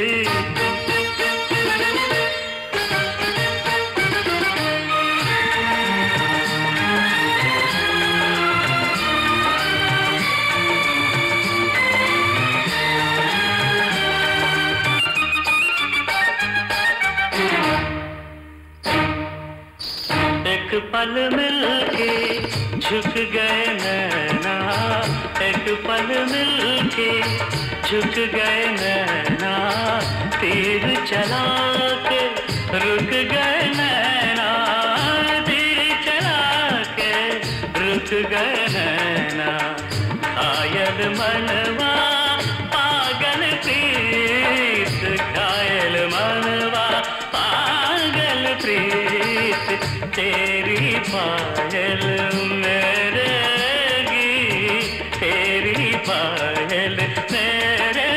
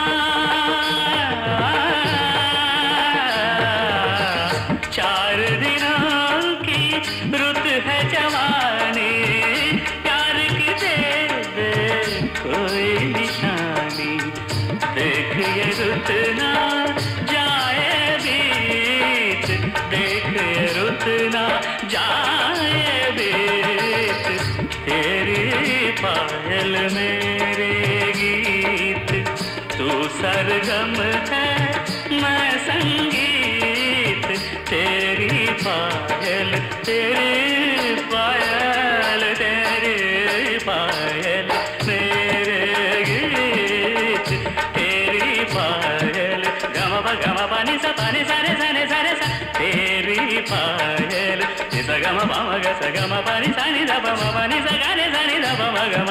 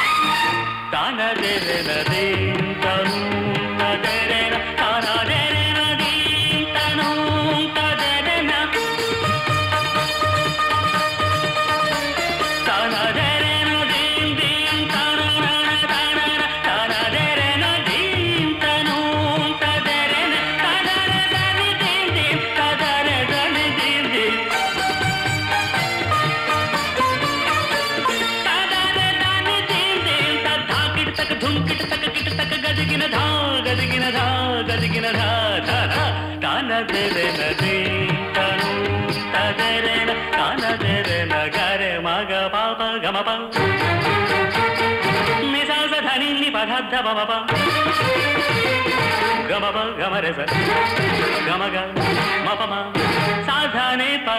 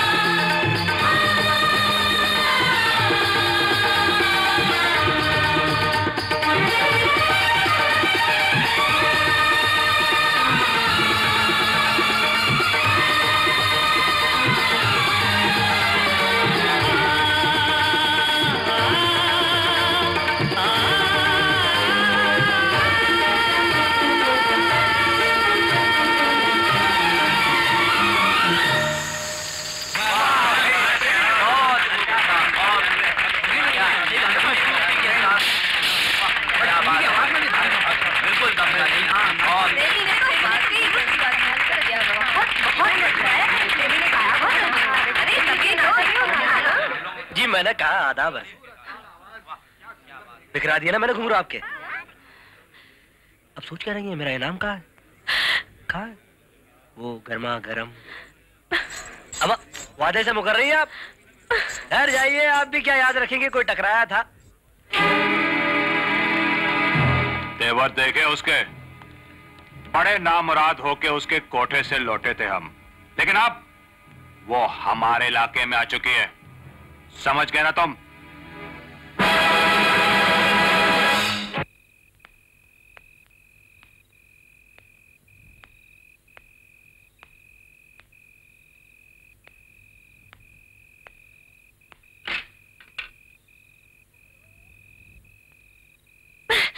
अरे ओ। पता नहीं क्या समझती है अपने आप को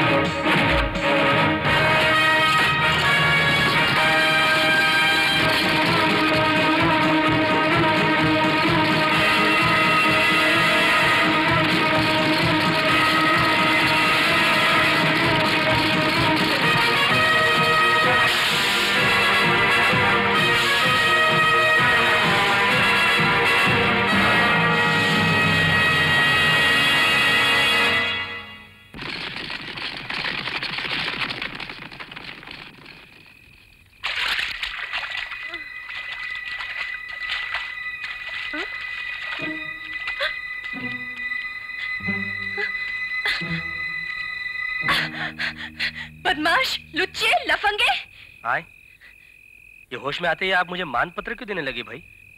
मुझे बेहोशी की दवा तूने ही सुंघाई होगी। मेरी आबरू पे हाथ डालना चाहता है तू। इसीलिए मुझे हवेली से उठा लाया। सरकार आप पर वो इनायत करने वाले कुछ और लोग थे। मैंने तो उन गुंडों के चुंगल से बचाया आपको। तू मुझे चकमा नहीं दे सकता। शाम से तेरी नीयत खराब है मुझ पर। ये ये तो अच्छा हुआ कि मुझे होश आ गया। वरना तू न जाने क्या कर डालता। अच्छा वो? न जाने क्या? माफ़ कीजिएगा हुजूर। न जाने क्या तो मैं आपके होश में आने के बाद भी कर सकता हूँ। बचकर दिखाइए। छोड़ो मुझे। छोड़ो। छोड़ो मुझे। बचकर दिखाइए। छोड़ो। कैसे छोड़ दूँ?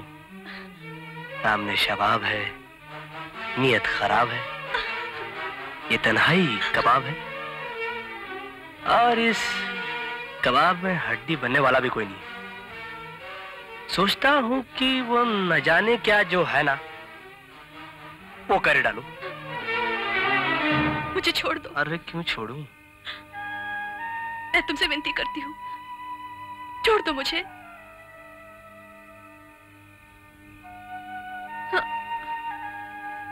छोड़ दिया। अब तो यकीन आया कि आपको उठाने वाला मैं नहीं कोई और थे। मगर आपको तो इस बात पे खुश होना चाहिए। खुश? आपको जगत महबूबा बनने का शौक है ना? कदम कदम पर भात भात के आशिक मिल रहे हैं। यहाँ आते एक नया आशिक मिल गया। हम तो सिर्फ़ आपके नाज ही उठाना जानते हैं। मगर आपका यह नया आशिक तो आप ही को उठा लाया ठाकुर साहब की हवेली से। हम्म, घटा छाने लगी है। चाँद छुपते ही भयानक अंधेरा। मुझे जल्दी हवेली पहुंचाओ। हवेली? हवेली यहाँ से कोसों दूर है सरकार। और रास्ते में घना जंगल है। वैसे वहाँ दूर एक छोटा सा गाँव नज़र आ रहा है।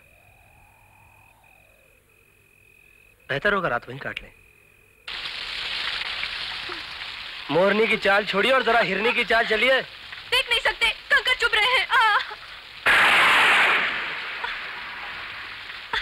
कंकर चुप रहे? ए, क्या कर रहे हो? क्या कर रहे हो तुम?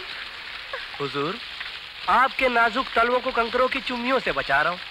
एहसान मानिए इतना भारी बोझ उठा रहा हूँ। ओ सुग्गी द्वार खोलना अरे इतने ज़्यादा नहीं पी वो बुधवा ने बातों में थोड़े सा छोड़। हाँ। अरे देखो ये कौन आवे मेरा भी बर्दाश्त का मादा खत्म हो चुका है।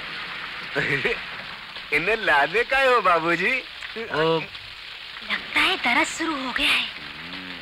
इन्हें बाप बनावेंगी। वो तो अगले साल का प्रोग्राम है। छोड़ बदतमीज। अरे ये तो शेरनी है शेरनी। जी हाँ शेरनी तो है। मगर फ़िलहाल फीकी बिल्ली बन चुकी है।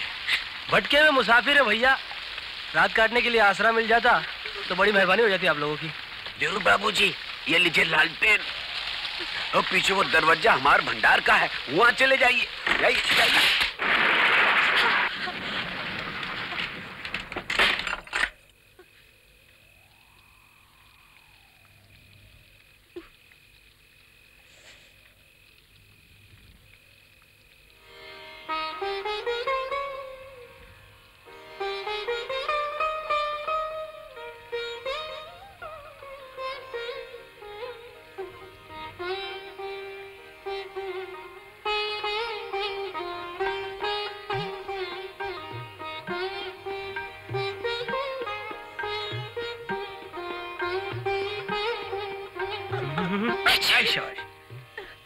अरे भैया सुनिए। कहिए बाबू साहेब ऐसा है कि हमारी शेरनी के दांत किटकिटा रहे हैं।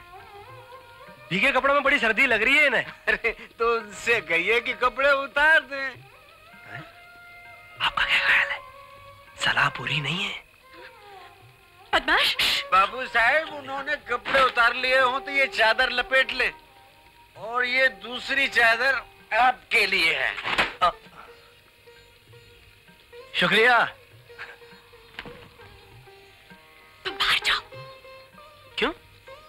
जवानी बरसात में? और भीगने के लिए? आपके इश्क का निमोनिया कम है क्या? आप मुझे डबल निमोनिया देना चाहती हैं? मैं तुम्हारे मैं तुम्हारे सामने अपने भीगे कपड़े उतारूँगी। मैंने इतनी दूर की सोची ही नहीं थी। लीजिए मैं आपकी तरफ़ पीट करके बैठा हूँ। ये लीजिए। अब आप अपनी वस्त्र उतारण क्रिया आरंभ कर सकती हैं।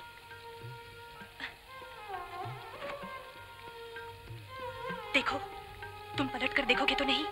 जी बिल्कुल नहीं देखूँगा। हाँ अगर आपको कुछ दिखाना है तो आप सामने चले आइएगा। क्या क्या? हाँ।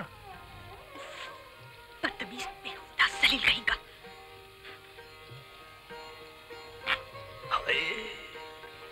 दिल पर चल रही है भैया।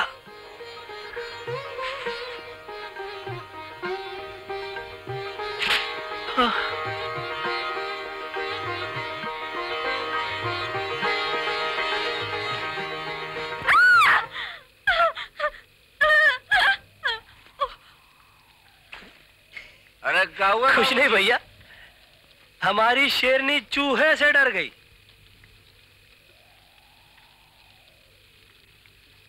इस चादर में भी सर्दी लग रही है। हाँ। अब तो एक ही उपाय है सर्दी मिटाने का। क्या? गर्म खून है दोनों की रगों में। जिस्म की गर्मी से एक दूसरे की सर्दी मिटा दी जाए।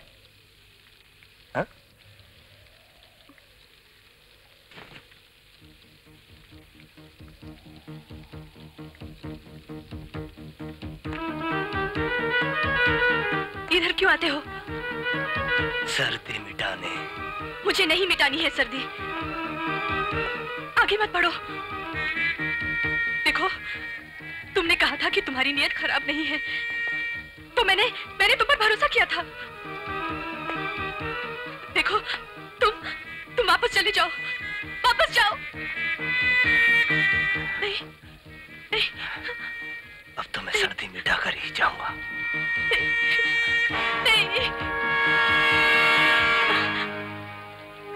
मेरी चादर भी ले लीजिए सरकार। जिस्म की गर्मी वाला नुस्खा फिर कभी आजमाऊँगा। हम्म, हम्म।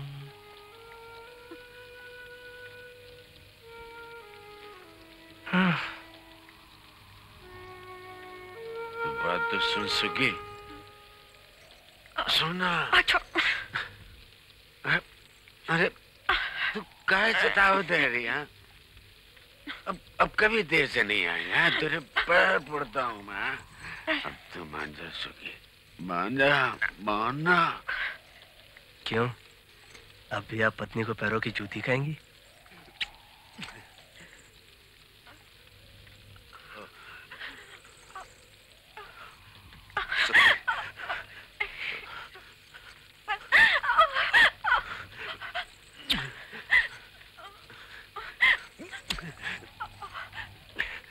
सुखी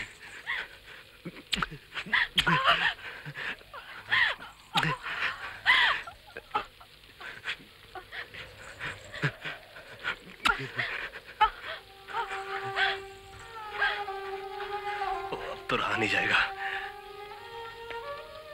मैं जा रहा हूँ। कहा? बाहर। भीगने के लिए। क्यों? अंदर का तापमान बहुत बढ़ रहा है। मेरी आबरू खतरे में है। ठाकुर साहब ये क्या अंधेर हो गया? रातों रात आपकी हवेली से मेरी बिटिया उठवा ली गई। पहरे पे तू था हरामखोर। तेरे होते ये जुरत किसने की? क्षमा करें माई बाप। किसी ने कुछ सुंघाकर मुझे बेहोश कर दिया था। चंद्रा भाई प्रेमी लैला के साथ जुगलबंदी जमाने हिया तो नहीं आया? सवेरे से नज़र ही नहीं आया? समझ गई। लैला ने उसे थप्पड़ मारकर कोठे से बाहर निकाला था। वही हरामजादा मेरी बिटिया को उठा ले गया। मैं मैं लुट गई ठाकुर साहब। मैं लुट गई। चंद्रा भाई गलत बात मत करो। तुम लोग तो 25 साल पहले गई थी। अब काहे कलेजा पीट के रो रही हो? आप लोग क्या फजूल की बातें कर रहे हैं? मैं ज़मीन आसमान एक कर दूँगा चंद्रा भाई। आपकी बेटी आपको मिल जाएगी। राम राम चौधरी। राम राम। बाबूजी हमारे गाँव के चौधरी हैं। नमस्ते। कौन है ये लोग? रास्ता भूल गए रहे। बड़ी हवेली में राजगढ़ में ठहरे हैं बड़े लोग हैं। बड़े लोग? हाँ। लेकिन इनका पहनावा तो हमारे जैसा है। अरे रात बरखा हुई गई रही ना तो बीबी जी के कपड़े भीग गए। तो हमारे घरवाली ने अपना जोड़ा दे दिया इनको। अच्छा अच्छा। आज हमारी धोबी बिरादरी में सुहागनों का त्योहार है। आप पति पत्नी भी शामिल होंगे तो हमारा मान बढ़ेगा। हाँ हाँ ज़रूर होंगे। क्यों नहीं होंगे? लड़की तिलक लगाओ।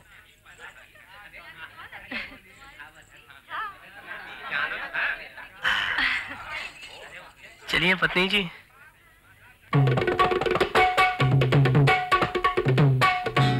एक नज़र से दिल डस जाए, दूजी से ले जाए।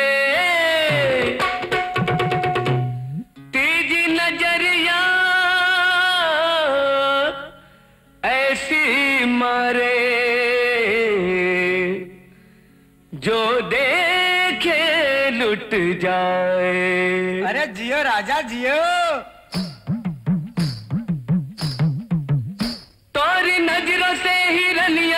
लागे मन मकाटरे तोरी नज़रों से ही रनिया लागे मन मकाटरे काहे धोबिया को धो बनिया मारे, धोबिया पाटरे काहे धोबिया को धो बनिया मारे, धोबिया पाटरे तोरी नज़रों से ही रनिया लागे मन मकाटरे काहे धोबिया को धो बनिया मारे, धोबिया पाटरे काहे धोबिया को धो बनिया मारे, धोबिया पाटरे toretta, toretta.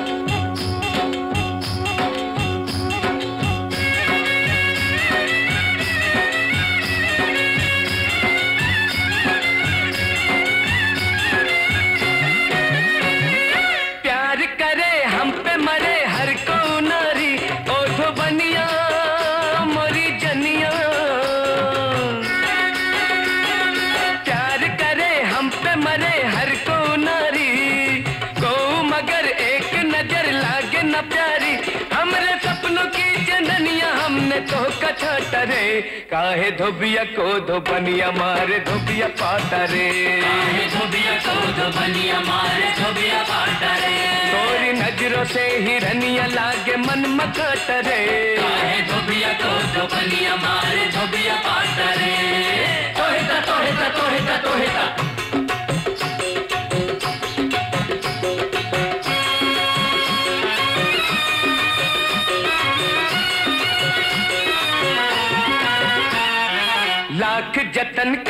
धरी तोहरी कलाई धरी तोहर कलाई।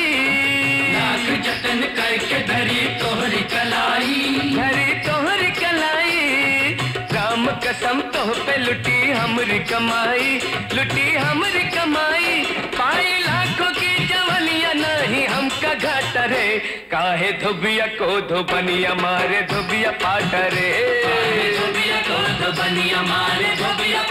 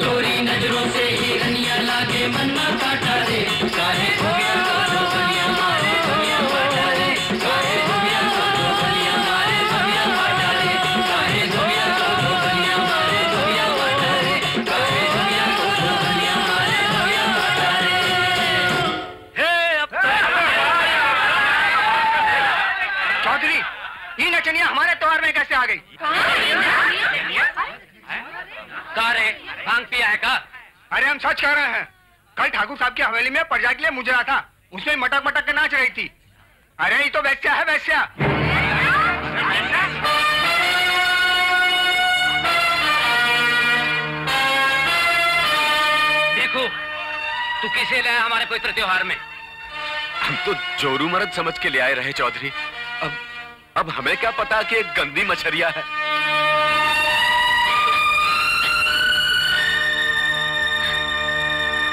देख लिया सरकार, आपने संसार में जगत महबूबा की क्या इज़्ज़त होती है?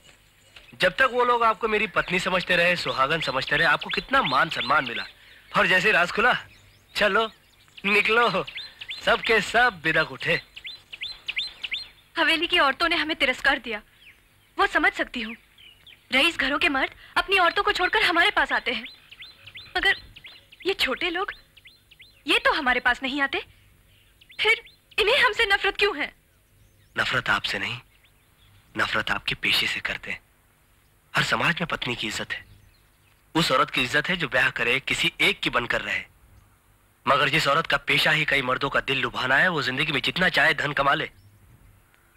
इज़्ज़त कभी नहीं कमा सकती, लैला।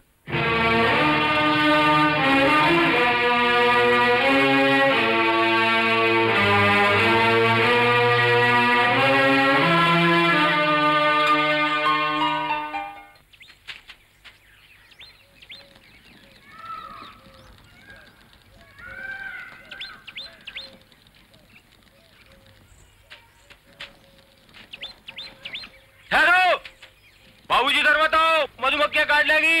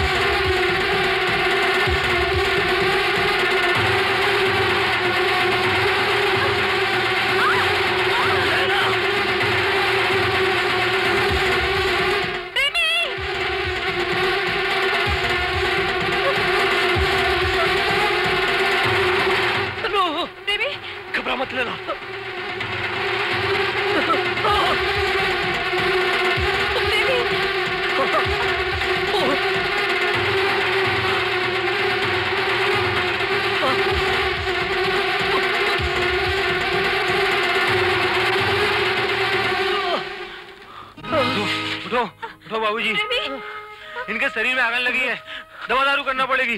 चलिए हमारे साथ।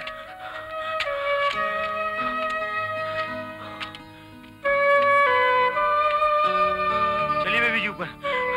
जल्दी चलिए। चलिए चलिए।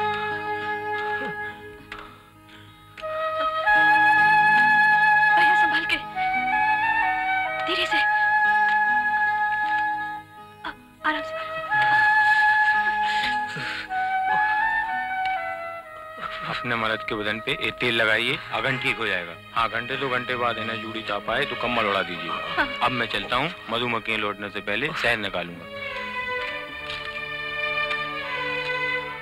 मुझे बचाने के लिए तुमने इतनी तकलीफ़ मोल ली।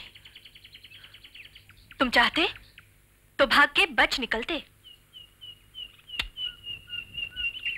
बड़ी भूल हो गई भाई।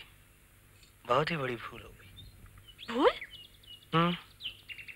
अगर मैं बच निकलता तो इस वक्त आप यहाँ लेटी होती। और आपका संगे मरमर जैसा बदन मैं सहला रहा होता। बदमाश हम्म, चुपचाप लेटे रहो। मुझे मालिश करना है।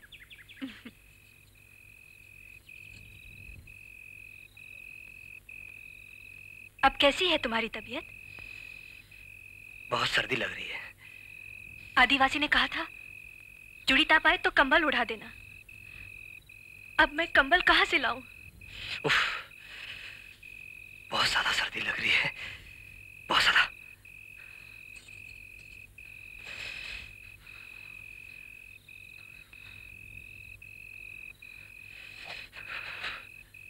कल रात तुमने कहा था सर्दी मिटाने का एक दूसरा तरीका भी है। याद नहीं क्या कहा था मैंने। बदन की गर्मी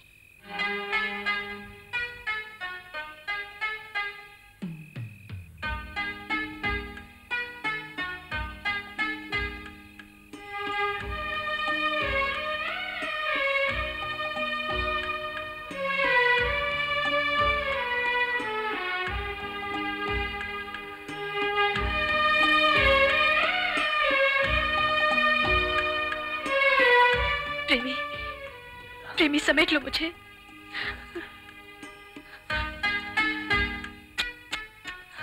कस के समेट लो मुझे। आज आज तुमने मेरा नाज तोड़ दिया। लैला, आज पहली बार किसी मर्द की बाहों में गई है।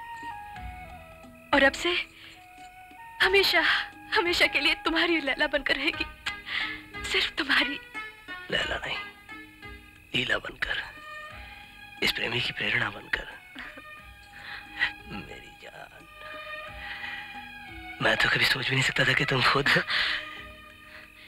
प्रेमी प्रेमी, मैं तन मन से तुम्हारी हूँ।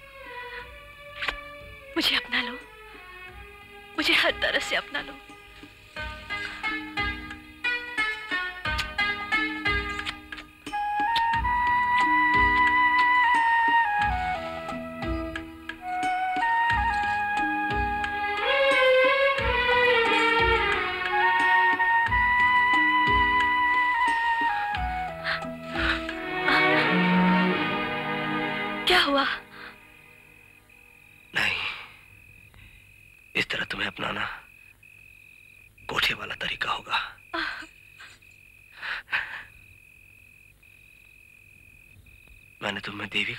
है लीला। दुनिया वालों के सामने तुम्हारी मांग में सिंदूर भरूँगा मैं। तुमसे प्यार रचाऊँगा फिर सुहाग रात को तुम्हें पूरी तरह से अपनाऊँगा मैं। हाँ लीला। प्रेमी, मुझे मोहब्बत का देवता मिला।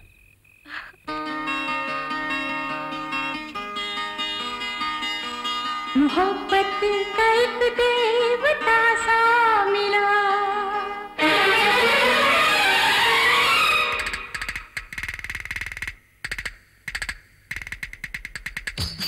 लीला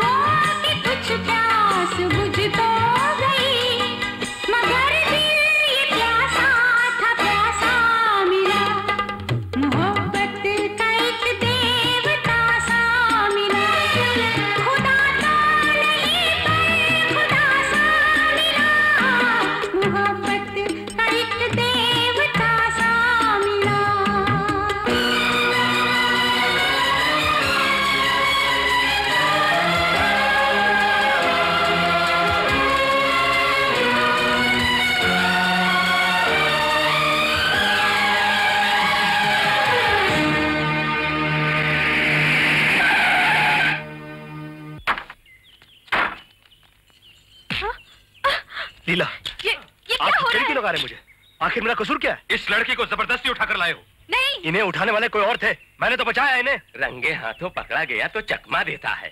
बाई जी को देहातन भी बना दिया ताकि पहचाना न जाए। मुझे बेहोशी की दवा सुनाई थी ना तूने? ये ले उसका इलाज।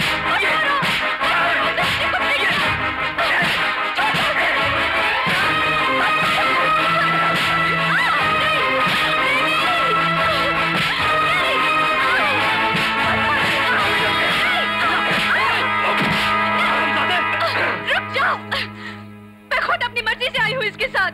बहुत खूब। तुम भी इसकी साइड लेने लगी भाई जी लगता है इस गुरु घंटाल ने तुम्हें रातों रात हथेली पे चाँद दिखा दिया।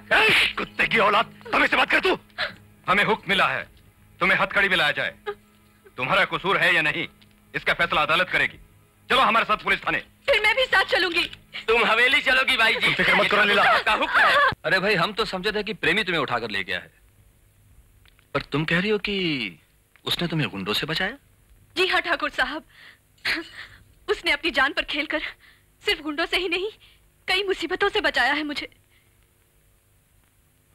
वो हीरा आदमी है। जिस आदमी को तूने घर से थप्पड़ मार के निकाला, आज वो तुझे हीरा नज़र आने लगा। माँ, मैं प्रेमी को गलत समझी थी। वो बेहद शरीफ आदमी है। और मुझे उससे प्यार हो गया है। दो रातें उसके साथ गुजारी और प्यार हो गया तुझे। हाँ चंद्रा भाई। वो इसलिए कि ये तुम जैसी नहीं है ना। तुम किसी के साथ अगर हज़ार रातें भी गुजारो तो तुमको प्यार नहीं होगा। मगर आम इंसान अगर किसी के साथ दो मिनट भी गुजारे तो उसके मन में प्यार का मामला फिट हो जाता है। आप चुप रहिए सेठ जी। साफ़ साफ़ बता प्यार में कहाँ तक बड़ी है तू? लुट कर तो नहीं आई? वो अगर लूटना चाहता तो शायद मैं मगर प्रेमी लाखों में एक है माँ। उसने मुझमें देवी का रूप देखा है। वो मेरे माथे से कोठे का कलंक मिटाना चाहता है। मुझसे मुझसे ब्याह करना चाहता है माँ। ये तो बड़ी खुशी की बात है लैला जान। नेक काम है। प्रेमी को हम छुड़ा के लाएँगे और तुम्हारे ब्याह का सारा खर्चा भी हम करेंगे। हुजूर आपको इस नेक काम में हाथ बटाने के लिए कुछ और करना होगा। क्या? आपको लैला के ब्याह में बाप बनकर कन्यादान करना होगा और ब्याह मेरे कोठे पर होगा।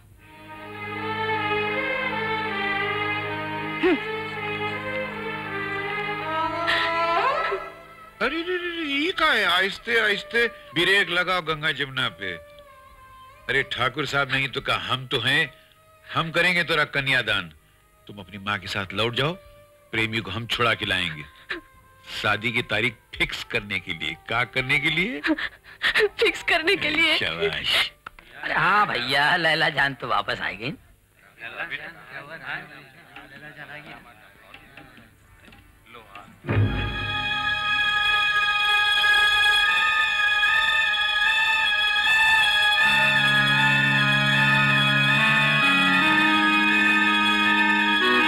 ये क्या लैला जान? कई दिनों के बाद आप हमारे सामने आई हैं। सच दज कर बिजली गिरानी चाहिए थी। ये क्या भद्दा लिबास पहन रखा है? इसी लिबास में मैंने ज़िंदगी को समझा है बेनी बाबू। जीने का मकसद पाया है। हम भी किसी मकसद से आपके कोठे पे आते हैं सरकार। अब आप हमें मुजरा दिखाएँगी? या नौटंकी नहीं होगा मुजरा। लैला! कई दिनों से हमारी आँखें तरस रही हैं। कान तरस रहे हैं लैला जान। मर गई लैला जान। अब मैं लैला जान नहीं। लीला बन के जीना चाहती हूँ। सिर्फ़ एक ही बन के जीना चाहती हूँ। इसलिए आप सब लोग एक बात गौर से सुन लीजिए कि आज के बाद इस कोठे पे लैला जान का मुजरा कभी नहीं होगा। कभी नहीं होगा। कभी नहीं होगा।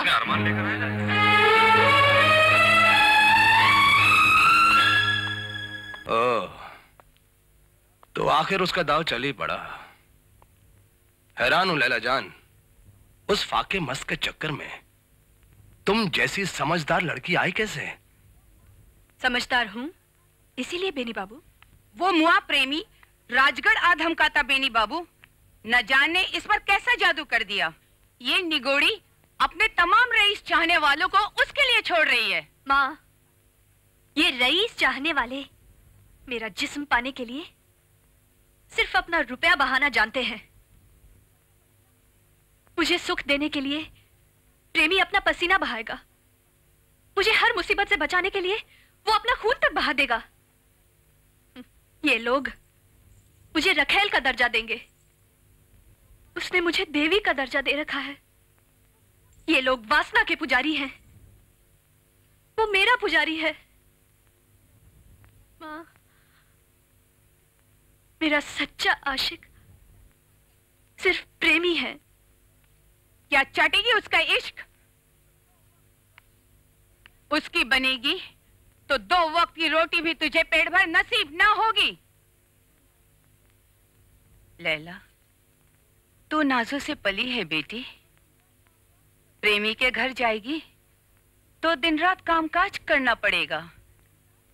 तुझे नौकरानी की ज़िंदगी गुजारनी होगी। गुजार लूँगी माँ। अपने प्रेमी के घर की रानी बनने के लिए नौकरानी की ज़िंदगी भी मैं गुजार लूँगी। झाड़ू दूँगी कपड़े धोऊँगी बर्तन मांजूँगी। मैं मैं हर तकलीफ़ को खुशी से झेल लूँगी माँ। प्रेमी की पत्नी बनने के लिए मुझे सब कुछ मंजूर है। तुम्हें मंजूर होगा लीला। मगर मुझे मंजूर नहीं। ये तुम क्या कह रहे हो प्रेमी? तु, तुमने मुझसे कहा था कि तुम मुझसे ब्याह करोगे? मुझे अपनी पत्नी बनाओगे? बनाऊँगा जान। मगर मुझे मंजूर नहीं कि मेरी पत्नी बनने के बाद तुम किसी भी किस्म का दुख झेलो।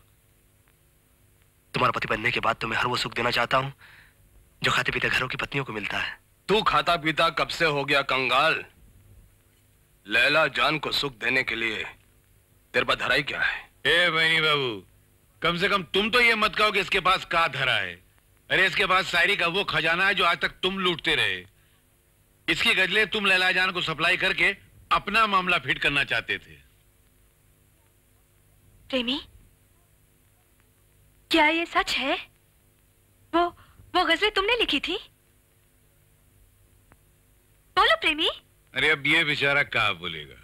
इस गुरु घंटाल ने इसे वचन लेके इसकी जबान पे ताला फिक्स कर दिया है। मगर हम बताते हैं। लला जान आज तक जितनी भी गजलें हम तुम्हें देते रहे ना वो हमारी नहीं थी वो प्रेमी की थी। मैं जानती थी। जानती थी मैं कि दोनों की गजलों का शायर एक ही है। अगर आज मालूम पड़ा कि मेरा प्रेमी है वो शायर। सिर्फ़ शायर होने से क्या होता है लैला जान? दुनिया की सबसे बड़ी ताकत है दौलत जो इस जैसे शायर को भी खरीद सकती है। इसकी शायरी के लिए मेरी दौलत को मत ठुकराओ। मैंने एक बढ़िया इंसान के लिए एक घटिया आदमी को ठुकराया है बेनी बाबू। प्रेमी गरीब सही गुमनाम सही मगर बहुत ऊँचे चरित्र का है जो मैंने राजगढ़ में परखा। लला जान अब प्रेमी ज़्यादा दिन गरीब और गुमनाम नहीं रहेगा। चंद्रा भाई आज 26 तारीख है। याद रखना अगली 26 तक ये दौलत कमाकर, नाम कमाकर तोरी कोठी पर आएगा, तोरी बिटिया का हाथ मांगने के लिए। ये हमारी गारंटी है। चल बेटा। और बहनी बाबू, ये लड़की घटिया आदमी का टाइटल तो तुम पे फिट कर चुकी है। अब हमसे कहा, बेशरम का टाइटल लेना चाहते हो। शट अप जैसन तो हार मर्ज़ी। मगर चंद्रा भाई याद रखना 26 को ये आ रहा है। उस दिन राजगढ़ वाली को तुरुप की चाल मत चलना। वरना उस तुरुप पे हम अपना पपलू फिट कर देंगे। चलो।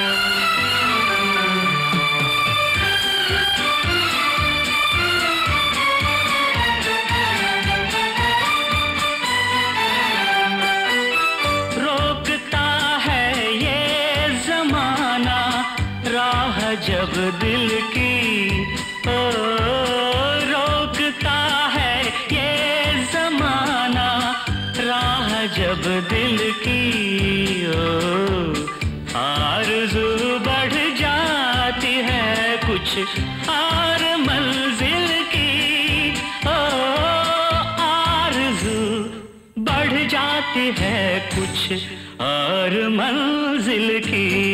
ओ, प्यार का जब रास्ता दुश्वार होता है ज़िंदगी में कम से कम एक बार होता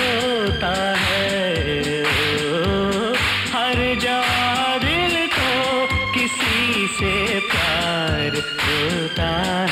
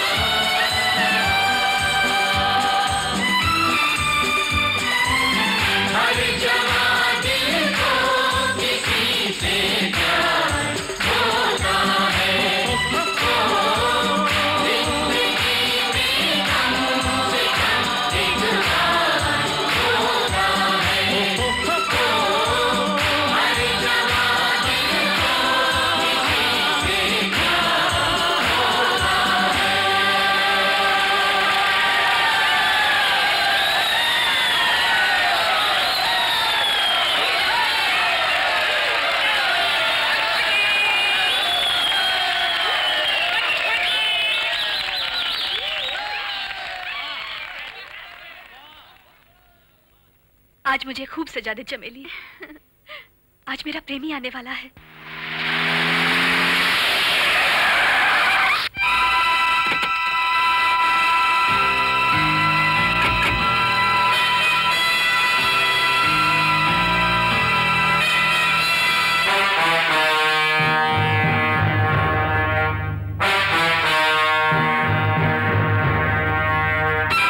अब उनको जो माल दे, उसका साथ देता है।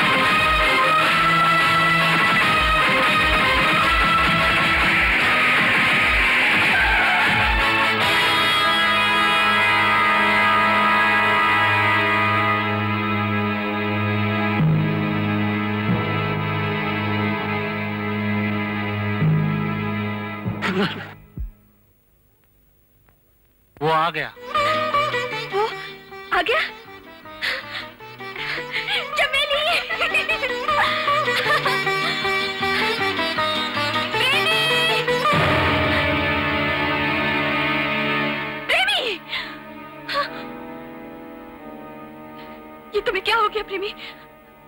तुम्हारी ये हालत किसने बना दी? प्रेमी, आँखें खोलो। आँखें खोलो, प्रेमी। ये क्या हो गया प्रेमी को? बेहोश है, मगर ज़िंदा। अगर तू इसकी ज़िंदगी चाहती है तो जो मैं कहूँ, वही करना होगा, वरना देख उधर।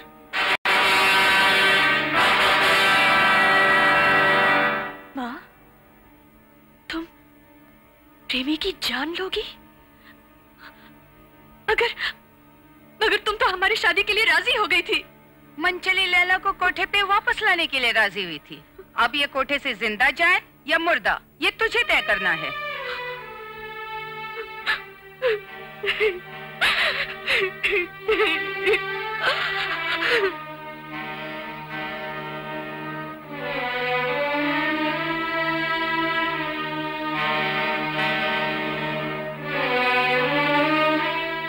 अब कैसी तबीयत है बेटे? तुम्हारी हालत किसने बनाई?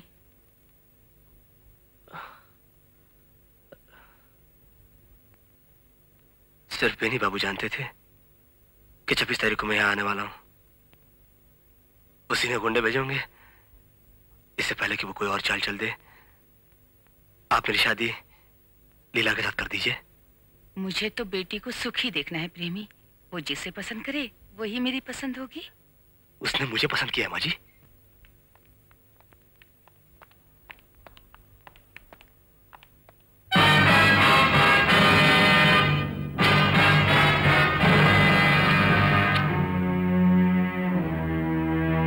लीला ये क्या देख रहा हूँ मैं? अरे प्रेमी आओ आओ। मैं तुम्हारा ही इंतज़ार कर रही थी। मेरा इंतज़ार? पहलू में इनके बैठकर? अरे हाँ। अखबार में तुम्हारा फ़ोटो देखा। आखिर तुम कुछ बन ही गए। बड़ी खुशी हुई मुझे। तेरी या चरित्र की बातें मत करो। तुम तो लैला से लीला बन चुकी थी। तुम्हारे लिए बनी थी प्रेमी वरना तुम हमेशा फाके मत बने रहते। भाई तुमने राजगढ़ में हमें काफ़ी मुसीबतों से बचाया। बहुत एहसान किया मुझ पर। मुझे तुम्हारे एहसानों का कर्ज चुकाना था। तुम्हें किसी मंजिल तक पहुँचाने के लिए तरक्की करने की प्रेरणा देने के लिए मैं लैला से लीला बनी थी प्रेमी। बहुत बहुत प्यार करता हूँ मैं तुमसे लीला। जी नहीं सकता हूँ मैं तुम्हारे बगैर। मुझे प्रेरणा देकर मेरे साथ विश्वासघात मत करो तुम। हम दोनों ने ब्याह करने की कसमें खाई थी। तुम्हें सुख देने के लिए मैं दिन रात जुटा रहा। एक एक घर। हाँ एक फ्लैट। सुना है मैंने तुमने मेरे लिए एक फ्लैट खरीदा है। कितने कमरे हैं उसमें? एक दो तीन। बेनी बाबू की कोठी से तो बेहतर नहीं है वो। तुमने तो खुद देखी है कितनी आलिशान है उनकी कोठी। वो नौकर चाकर गाड़ी ऐशो आराम की ज़िंदगी तुम मुझे कहाँ से दे सकते हो? प्रेमी, मैंने तुम्हारा कर्ज चुका दिया है। अब मैं फिर से लैला जान बनकर बेनी बाबू की आलिशान कोठी में रहने जाऊँगी। यकीन नहीं आता मुझे। यकीन नहीं आता कि एक महीने में तुम इतनी बदल कैसे गई? प्रेम!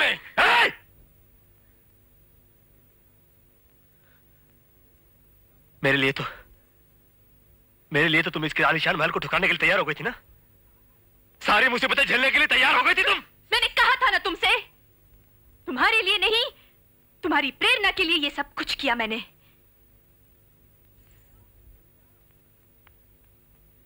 जाओ प्रेमी जाओ। मुझे भूलकर अपनी ज़िंदगी जियो। और मुझे भी अपनी ज़िंदगी जीने दो।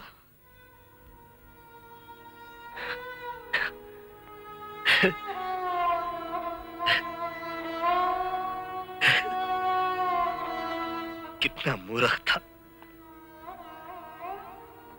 कितना मूर्ख था मैं। तुम्हें देवी के मंदिर में क्या देख लिया? देवी समझ बैठा तुम्हें। मगर तुम तुम निकली सर से पाँव तक। तवायफ की तवायफ! बेटी माँ अब तो तुम्हारे कलेजे को ठंडक पहुँच गई ना। आज तो तुम बहुत खुश होगी। तुमने मुझसे मेरे प्रेमी को अलग कर दिया। लेकिन आज आज ये बात भी सुन लो। मरते दम तक उसके सिवा मैं और किसी की भी नहीं बनूँगी। उससे पहले मैं जहर खा लूँगी। अपने आप को खत्म कर दूँगी। चले जाओ तुम दोनों यहाँ से। चले जाओ। चले जाओ। चले जाओ। अपनी आँखों से देखा है मैंने। अपने कानों से सुना है। अब तो बस आपकी आज्ञा चाहिए सेठ जी। एक एक दिन और नहीं रुक सकते हो जाता नहीं सेठ जी नहीं। इस शहर से मन भर गया मेरा। आज ही अपने गाँव लौट जाऊँगा बस। हाँ इतना है कि मरते दम तक आपके एहसानों को नहीं भूल नहीं।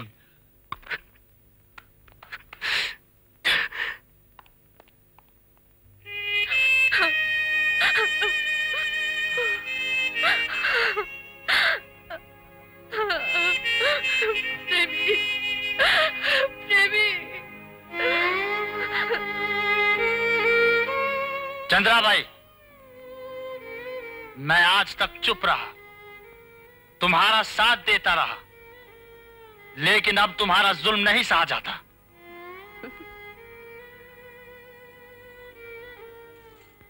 मैंने तुम पे क्या जुल्म किया खान साहब? तुम उस बच्ची पर जुल्म कर रही हो जो मेरी बेटी जैसी है। वो तुम्हें काफ़ी कमा के दे चुकी है चंद्रा भाई। अब उस बेचारी को अपनी ज़िंदगी संवारने दो उसे प्रेमी के दुल्हन बन जाने दो। कोठी की संतान। सिर्फ़ एक रात के लिए दुल्हन बनती है खान साहब। उम्र भर के लिए नहीं। हम्म। वो दौलत के तराजू में तुलकर अपनी नत उतरवाती है। ब्याह करके सुहागरात नहीं मनाती।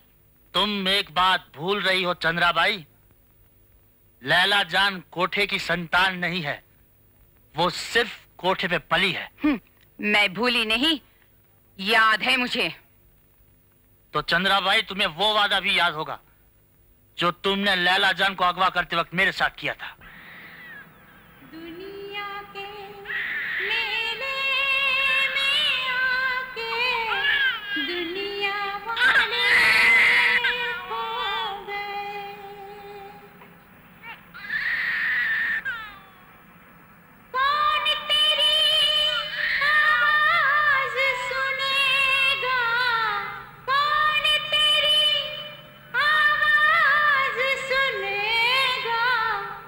जागने वाले सो गए। करिश्मा है करिश्मा। गीत सुनते ही खामोश। इस नन्ही सी उम्र में इतना संगीत प्रेम। सूरत भी बहुत प्यारी है खान साहब। बड़ी होकर रूप की रानी निकलेगी। अब तुम्हारी नज़र इसको नहीं लगेगी चंद्रा भाई बनाने वाले ने तलवे में जन्म से ही काला दाग दे रखा है। चलो भाई वो ढाबा आ गया पंद्रह मिनट तक गाड़ी रुकेगी आप लोग जल्दी से चाय पानी वगैरह पीकर वापस आइएगा। तुम बच्चे को संभालो मैं अभी दूध लेके आता हूँ। अच्छा।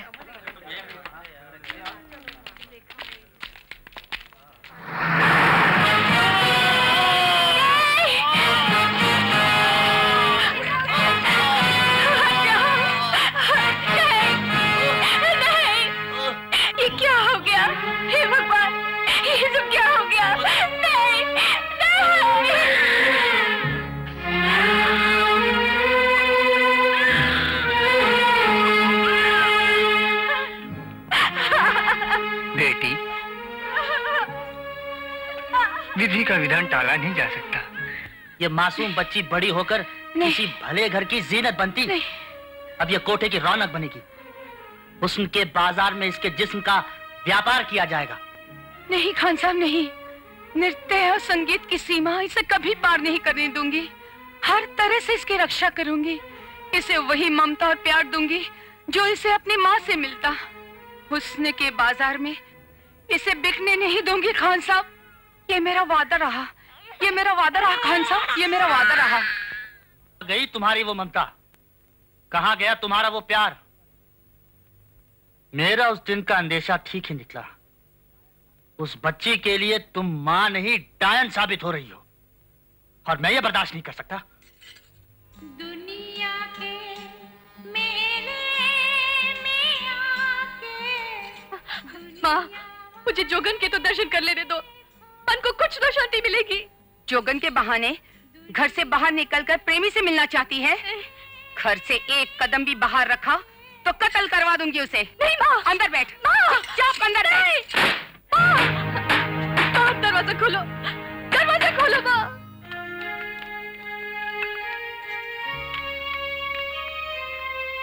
ए जोगन तुझे ये आने से मना किया था ना? फिर क्यों आई है? उस बच्ची के लिए देवी। पिछली बार उसे देखा तो बड़ी ममता जागी थी मन में। सिर्फ़ एक बार देख लेने दो उसे। टूटी टांगे लिए अस्पताल की खटिया देखनी है क्या? चल दफ़ा हो यहाँ से। बस एक बार बच्ची को देखकर चली जाऊँगी। मुझे मत रोको देवी। पागल औरत तू जाती है कि नहीं?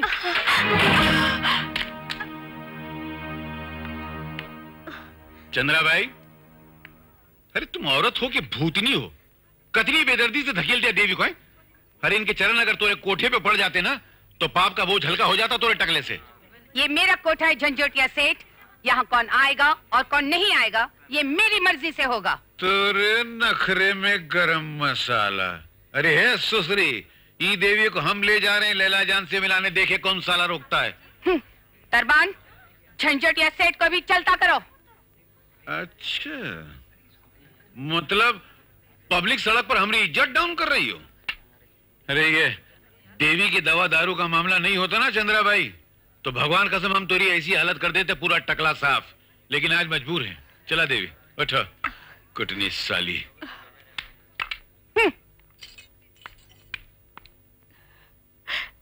परसों से भटक रही हूँ। सिर्फ़ अपने बच्चे की तलाश में। सिर्फ़ एक ही आस लेकर जी रही हूँ। शायद एक दिन मेरी बच्ची मिल जाए। मगर महन वो नन्ही सी बच्ची अब तक जवान हो गई होगी। अगर मिल भी जाए तो तुम पहचानोगी कैसे? उसके पाए तलवे में एक काला पतम था। बस यही एक निशानी है उसे पहचानने की। काला पदम? ये हम कहीं देखा है। कोई सुंदरी के तलवे में हाँ? सुंदरी मतलब बच्ची। देखा तो है। बहन जी, तुम समझो कि तुमको तुम्हारी बेटी मिल गई। बस तुम जाके दुर्गा माँ से प्रार्थना कर लियो। मैं बिल्कुल सच कह रहा हूँ भैया। उस दिन तुम जख्मी हालत से कोटे से नीचे उतरे थे। बेनी बाबू का सिगार लेकर हम ऊपर पहुँचे थे। बैठक में खड़े खड़े हम सब बातें सुने। तुम्हारे जाने के बाद फूट फूट कर रो रही थी और अपनी माँ को, बेनी बाबू को खूब बातें सुनाई और कहने लगी, अगर वो तुम्हारी नहीं बनी तो किसी और की भी नहीं बनेगी। अपनी जान दे देगी, खत्म कर लेगी अपने आप को। मुझसे आपका ये दुख अब और नहीं देखा जाता, लैला जान। कुछ लाई हूँ आपके लिए? प्रेमी का खत है।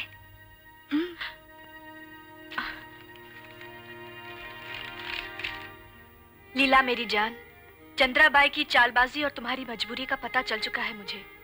तुम्हें छुड़ाने के लिए मैं कोठे पर नहीं आ सकता। मुझे मौत का डर नहीं, लेकिन अपनी लीला के साथ जीने का अरमान है दिल में। इसीलिए आज दोपहर तक तुम किसी भी तरह कोठे से निकलकर दरिया महल के पास मुझे मिलो। मैंने सारा इंतज़ाम कर रखा है। आज ही हमारा ब्याह हो जाएगा। फिर दुनिया की कोई भी ताकत हमें जुदा नहीं कर सकेगी। तुम्हारा प्रेमी। लैला बेटी कहाँ जा रही हो इस वक्त? मैं आपके हाथ जोड़ती हूँ उस्ताद जी। मुझे मत रोकिए। मुझे जाने दीजिए। लेकिन कहाँ? उसी प्रेमी के पास। और कहा? ये चुड़ैल चमेली ज़रूर कोई संदेशा लाई होगी इसके पास। खबरदार जो कोठे से कदम बाहर निकाला। अब तो टूटती हुई बिजलियाँ आंधी या तूफ़ान भी मुझे नहीं रोक सकता माँ। तुम रोक सकती हो तो रोक लो। मुझे दीवे दिखाती है लौंडिया। अभी मज़ा चखाती हूँ। चंद्राबाई इस लड़की ने तुमको माँ का मकाम दिया है। माँ ही बनी रहो तो अच्छा है। अगर दूसरा रूप दिखाया तो तुम्हें कहीं का नहीं छोड़ूँगा। जा बेटी जा। बाबा। अल्लाह तेरे दिल की मुराद पूरी करे। देखता हूँ कौन रोकता है तुझे।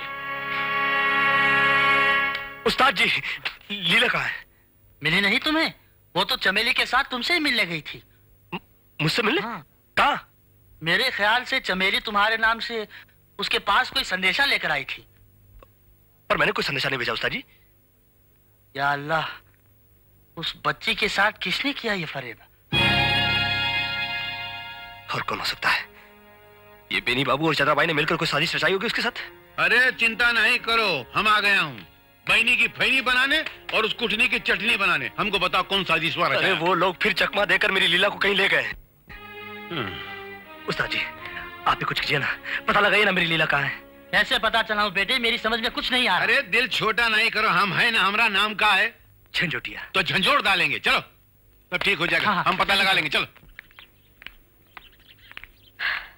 प्रेमी तो यहाँ कहीं भी नज़र नहीं आ रहा।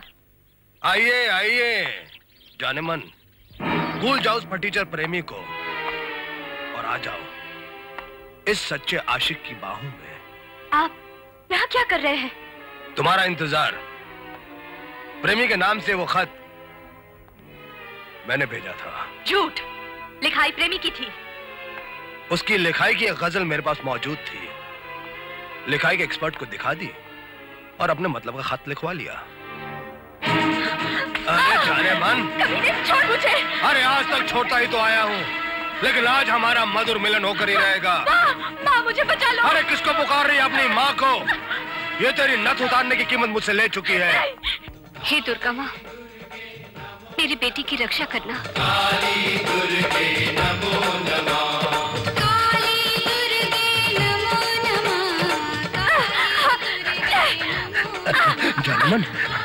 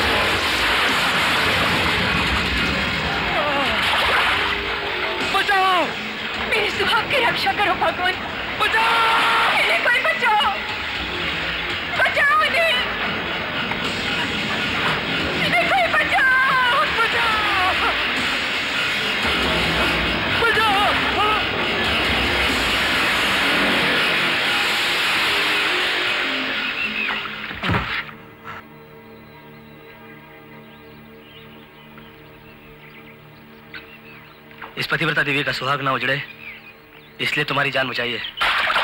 माफ़ी मांगो इनसे।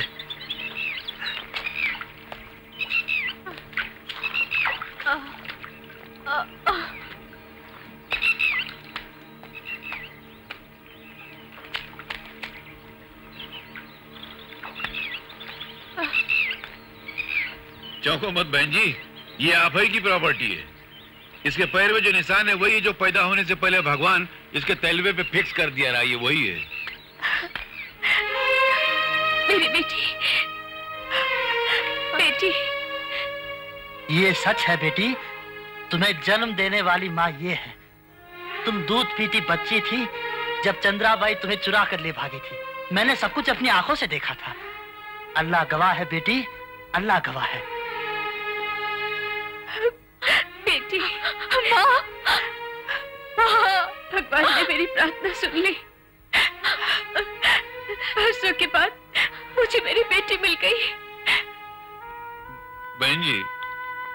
आपकी बच्ची तो मिल गई। हमरे बगल में हमारा एक बच्चा खड़ा है उम्मीदवार। अगर उसको भी यहाँ फिक्स कर दें तो लैला मन्नू की जो कहानी जो हज़ारों साल से अधूरी है, पूरी हो जाएगी।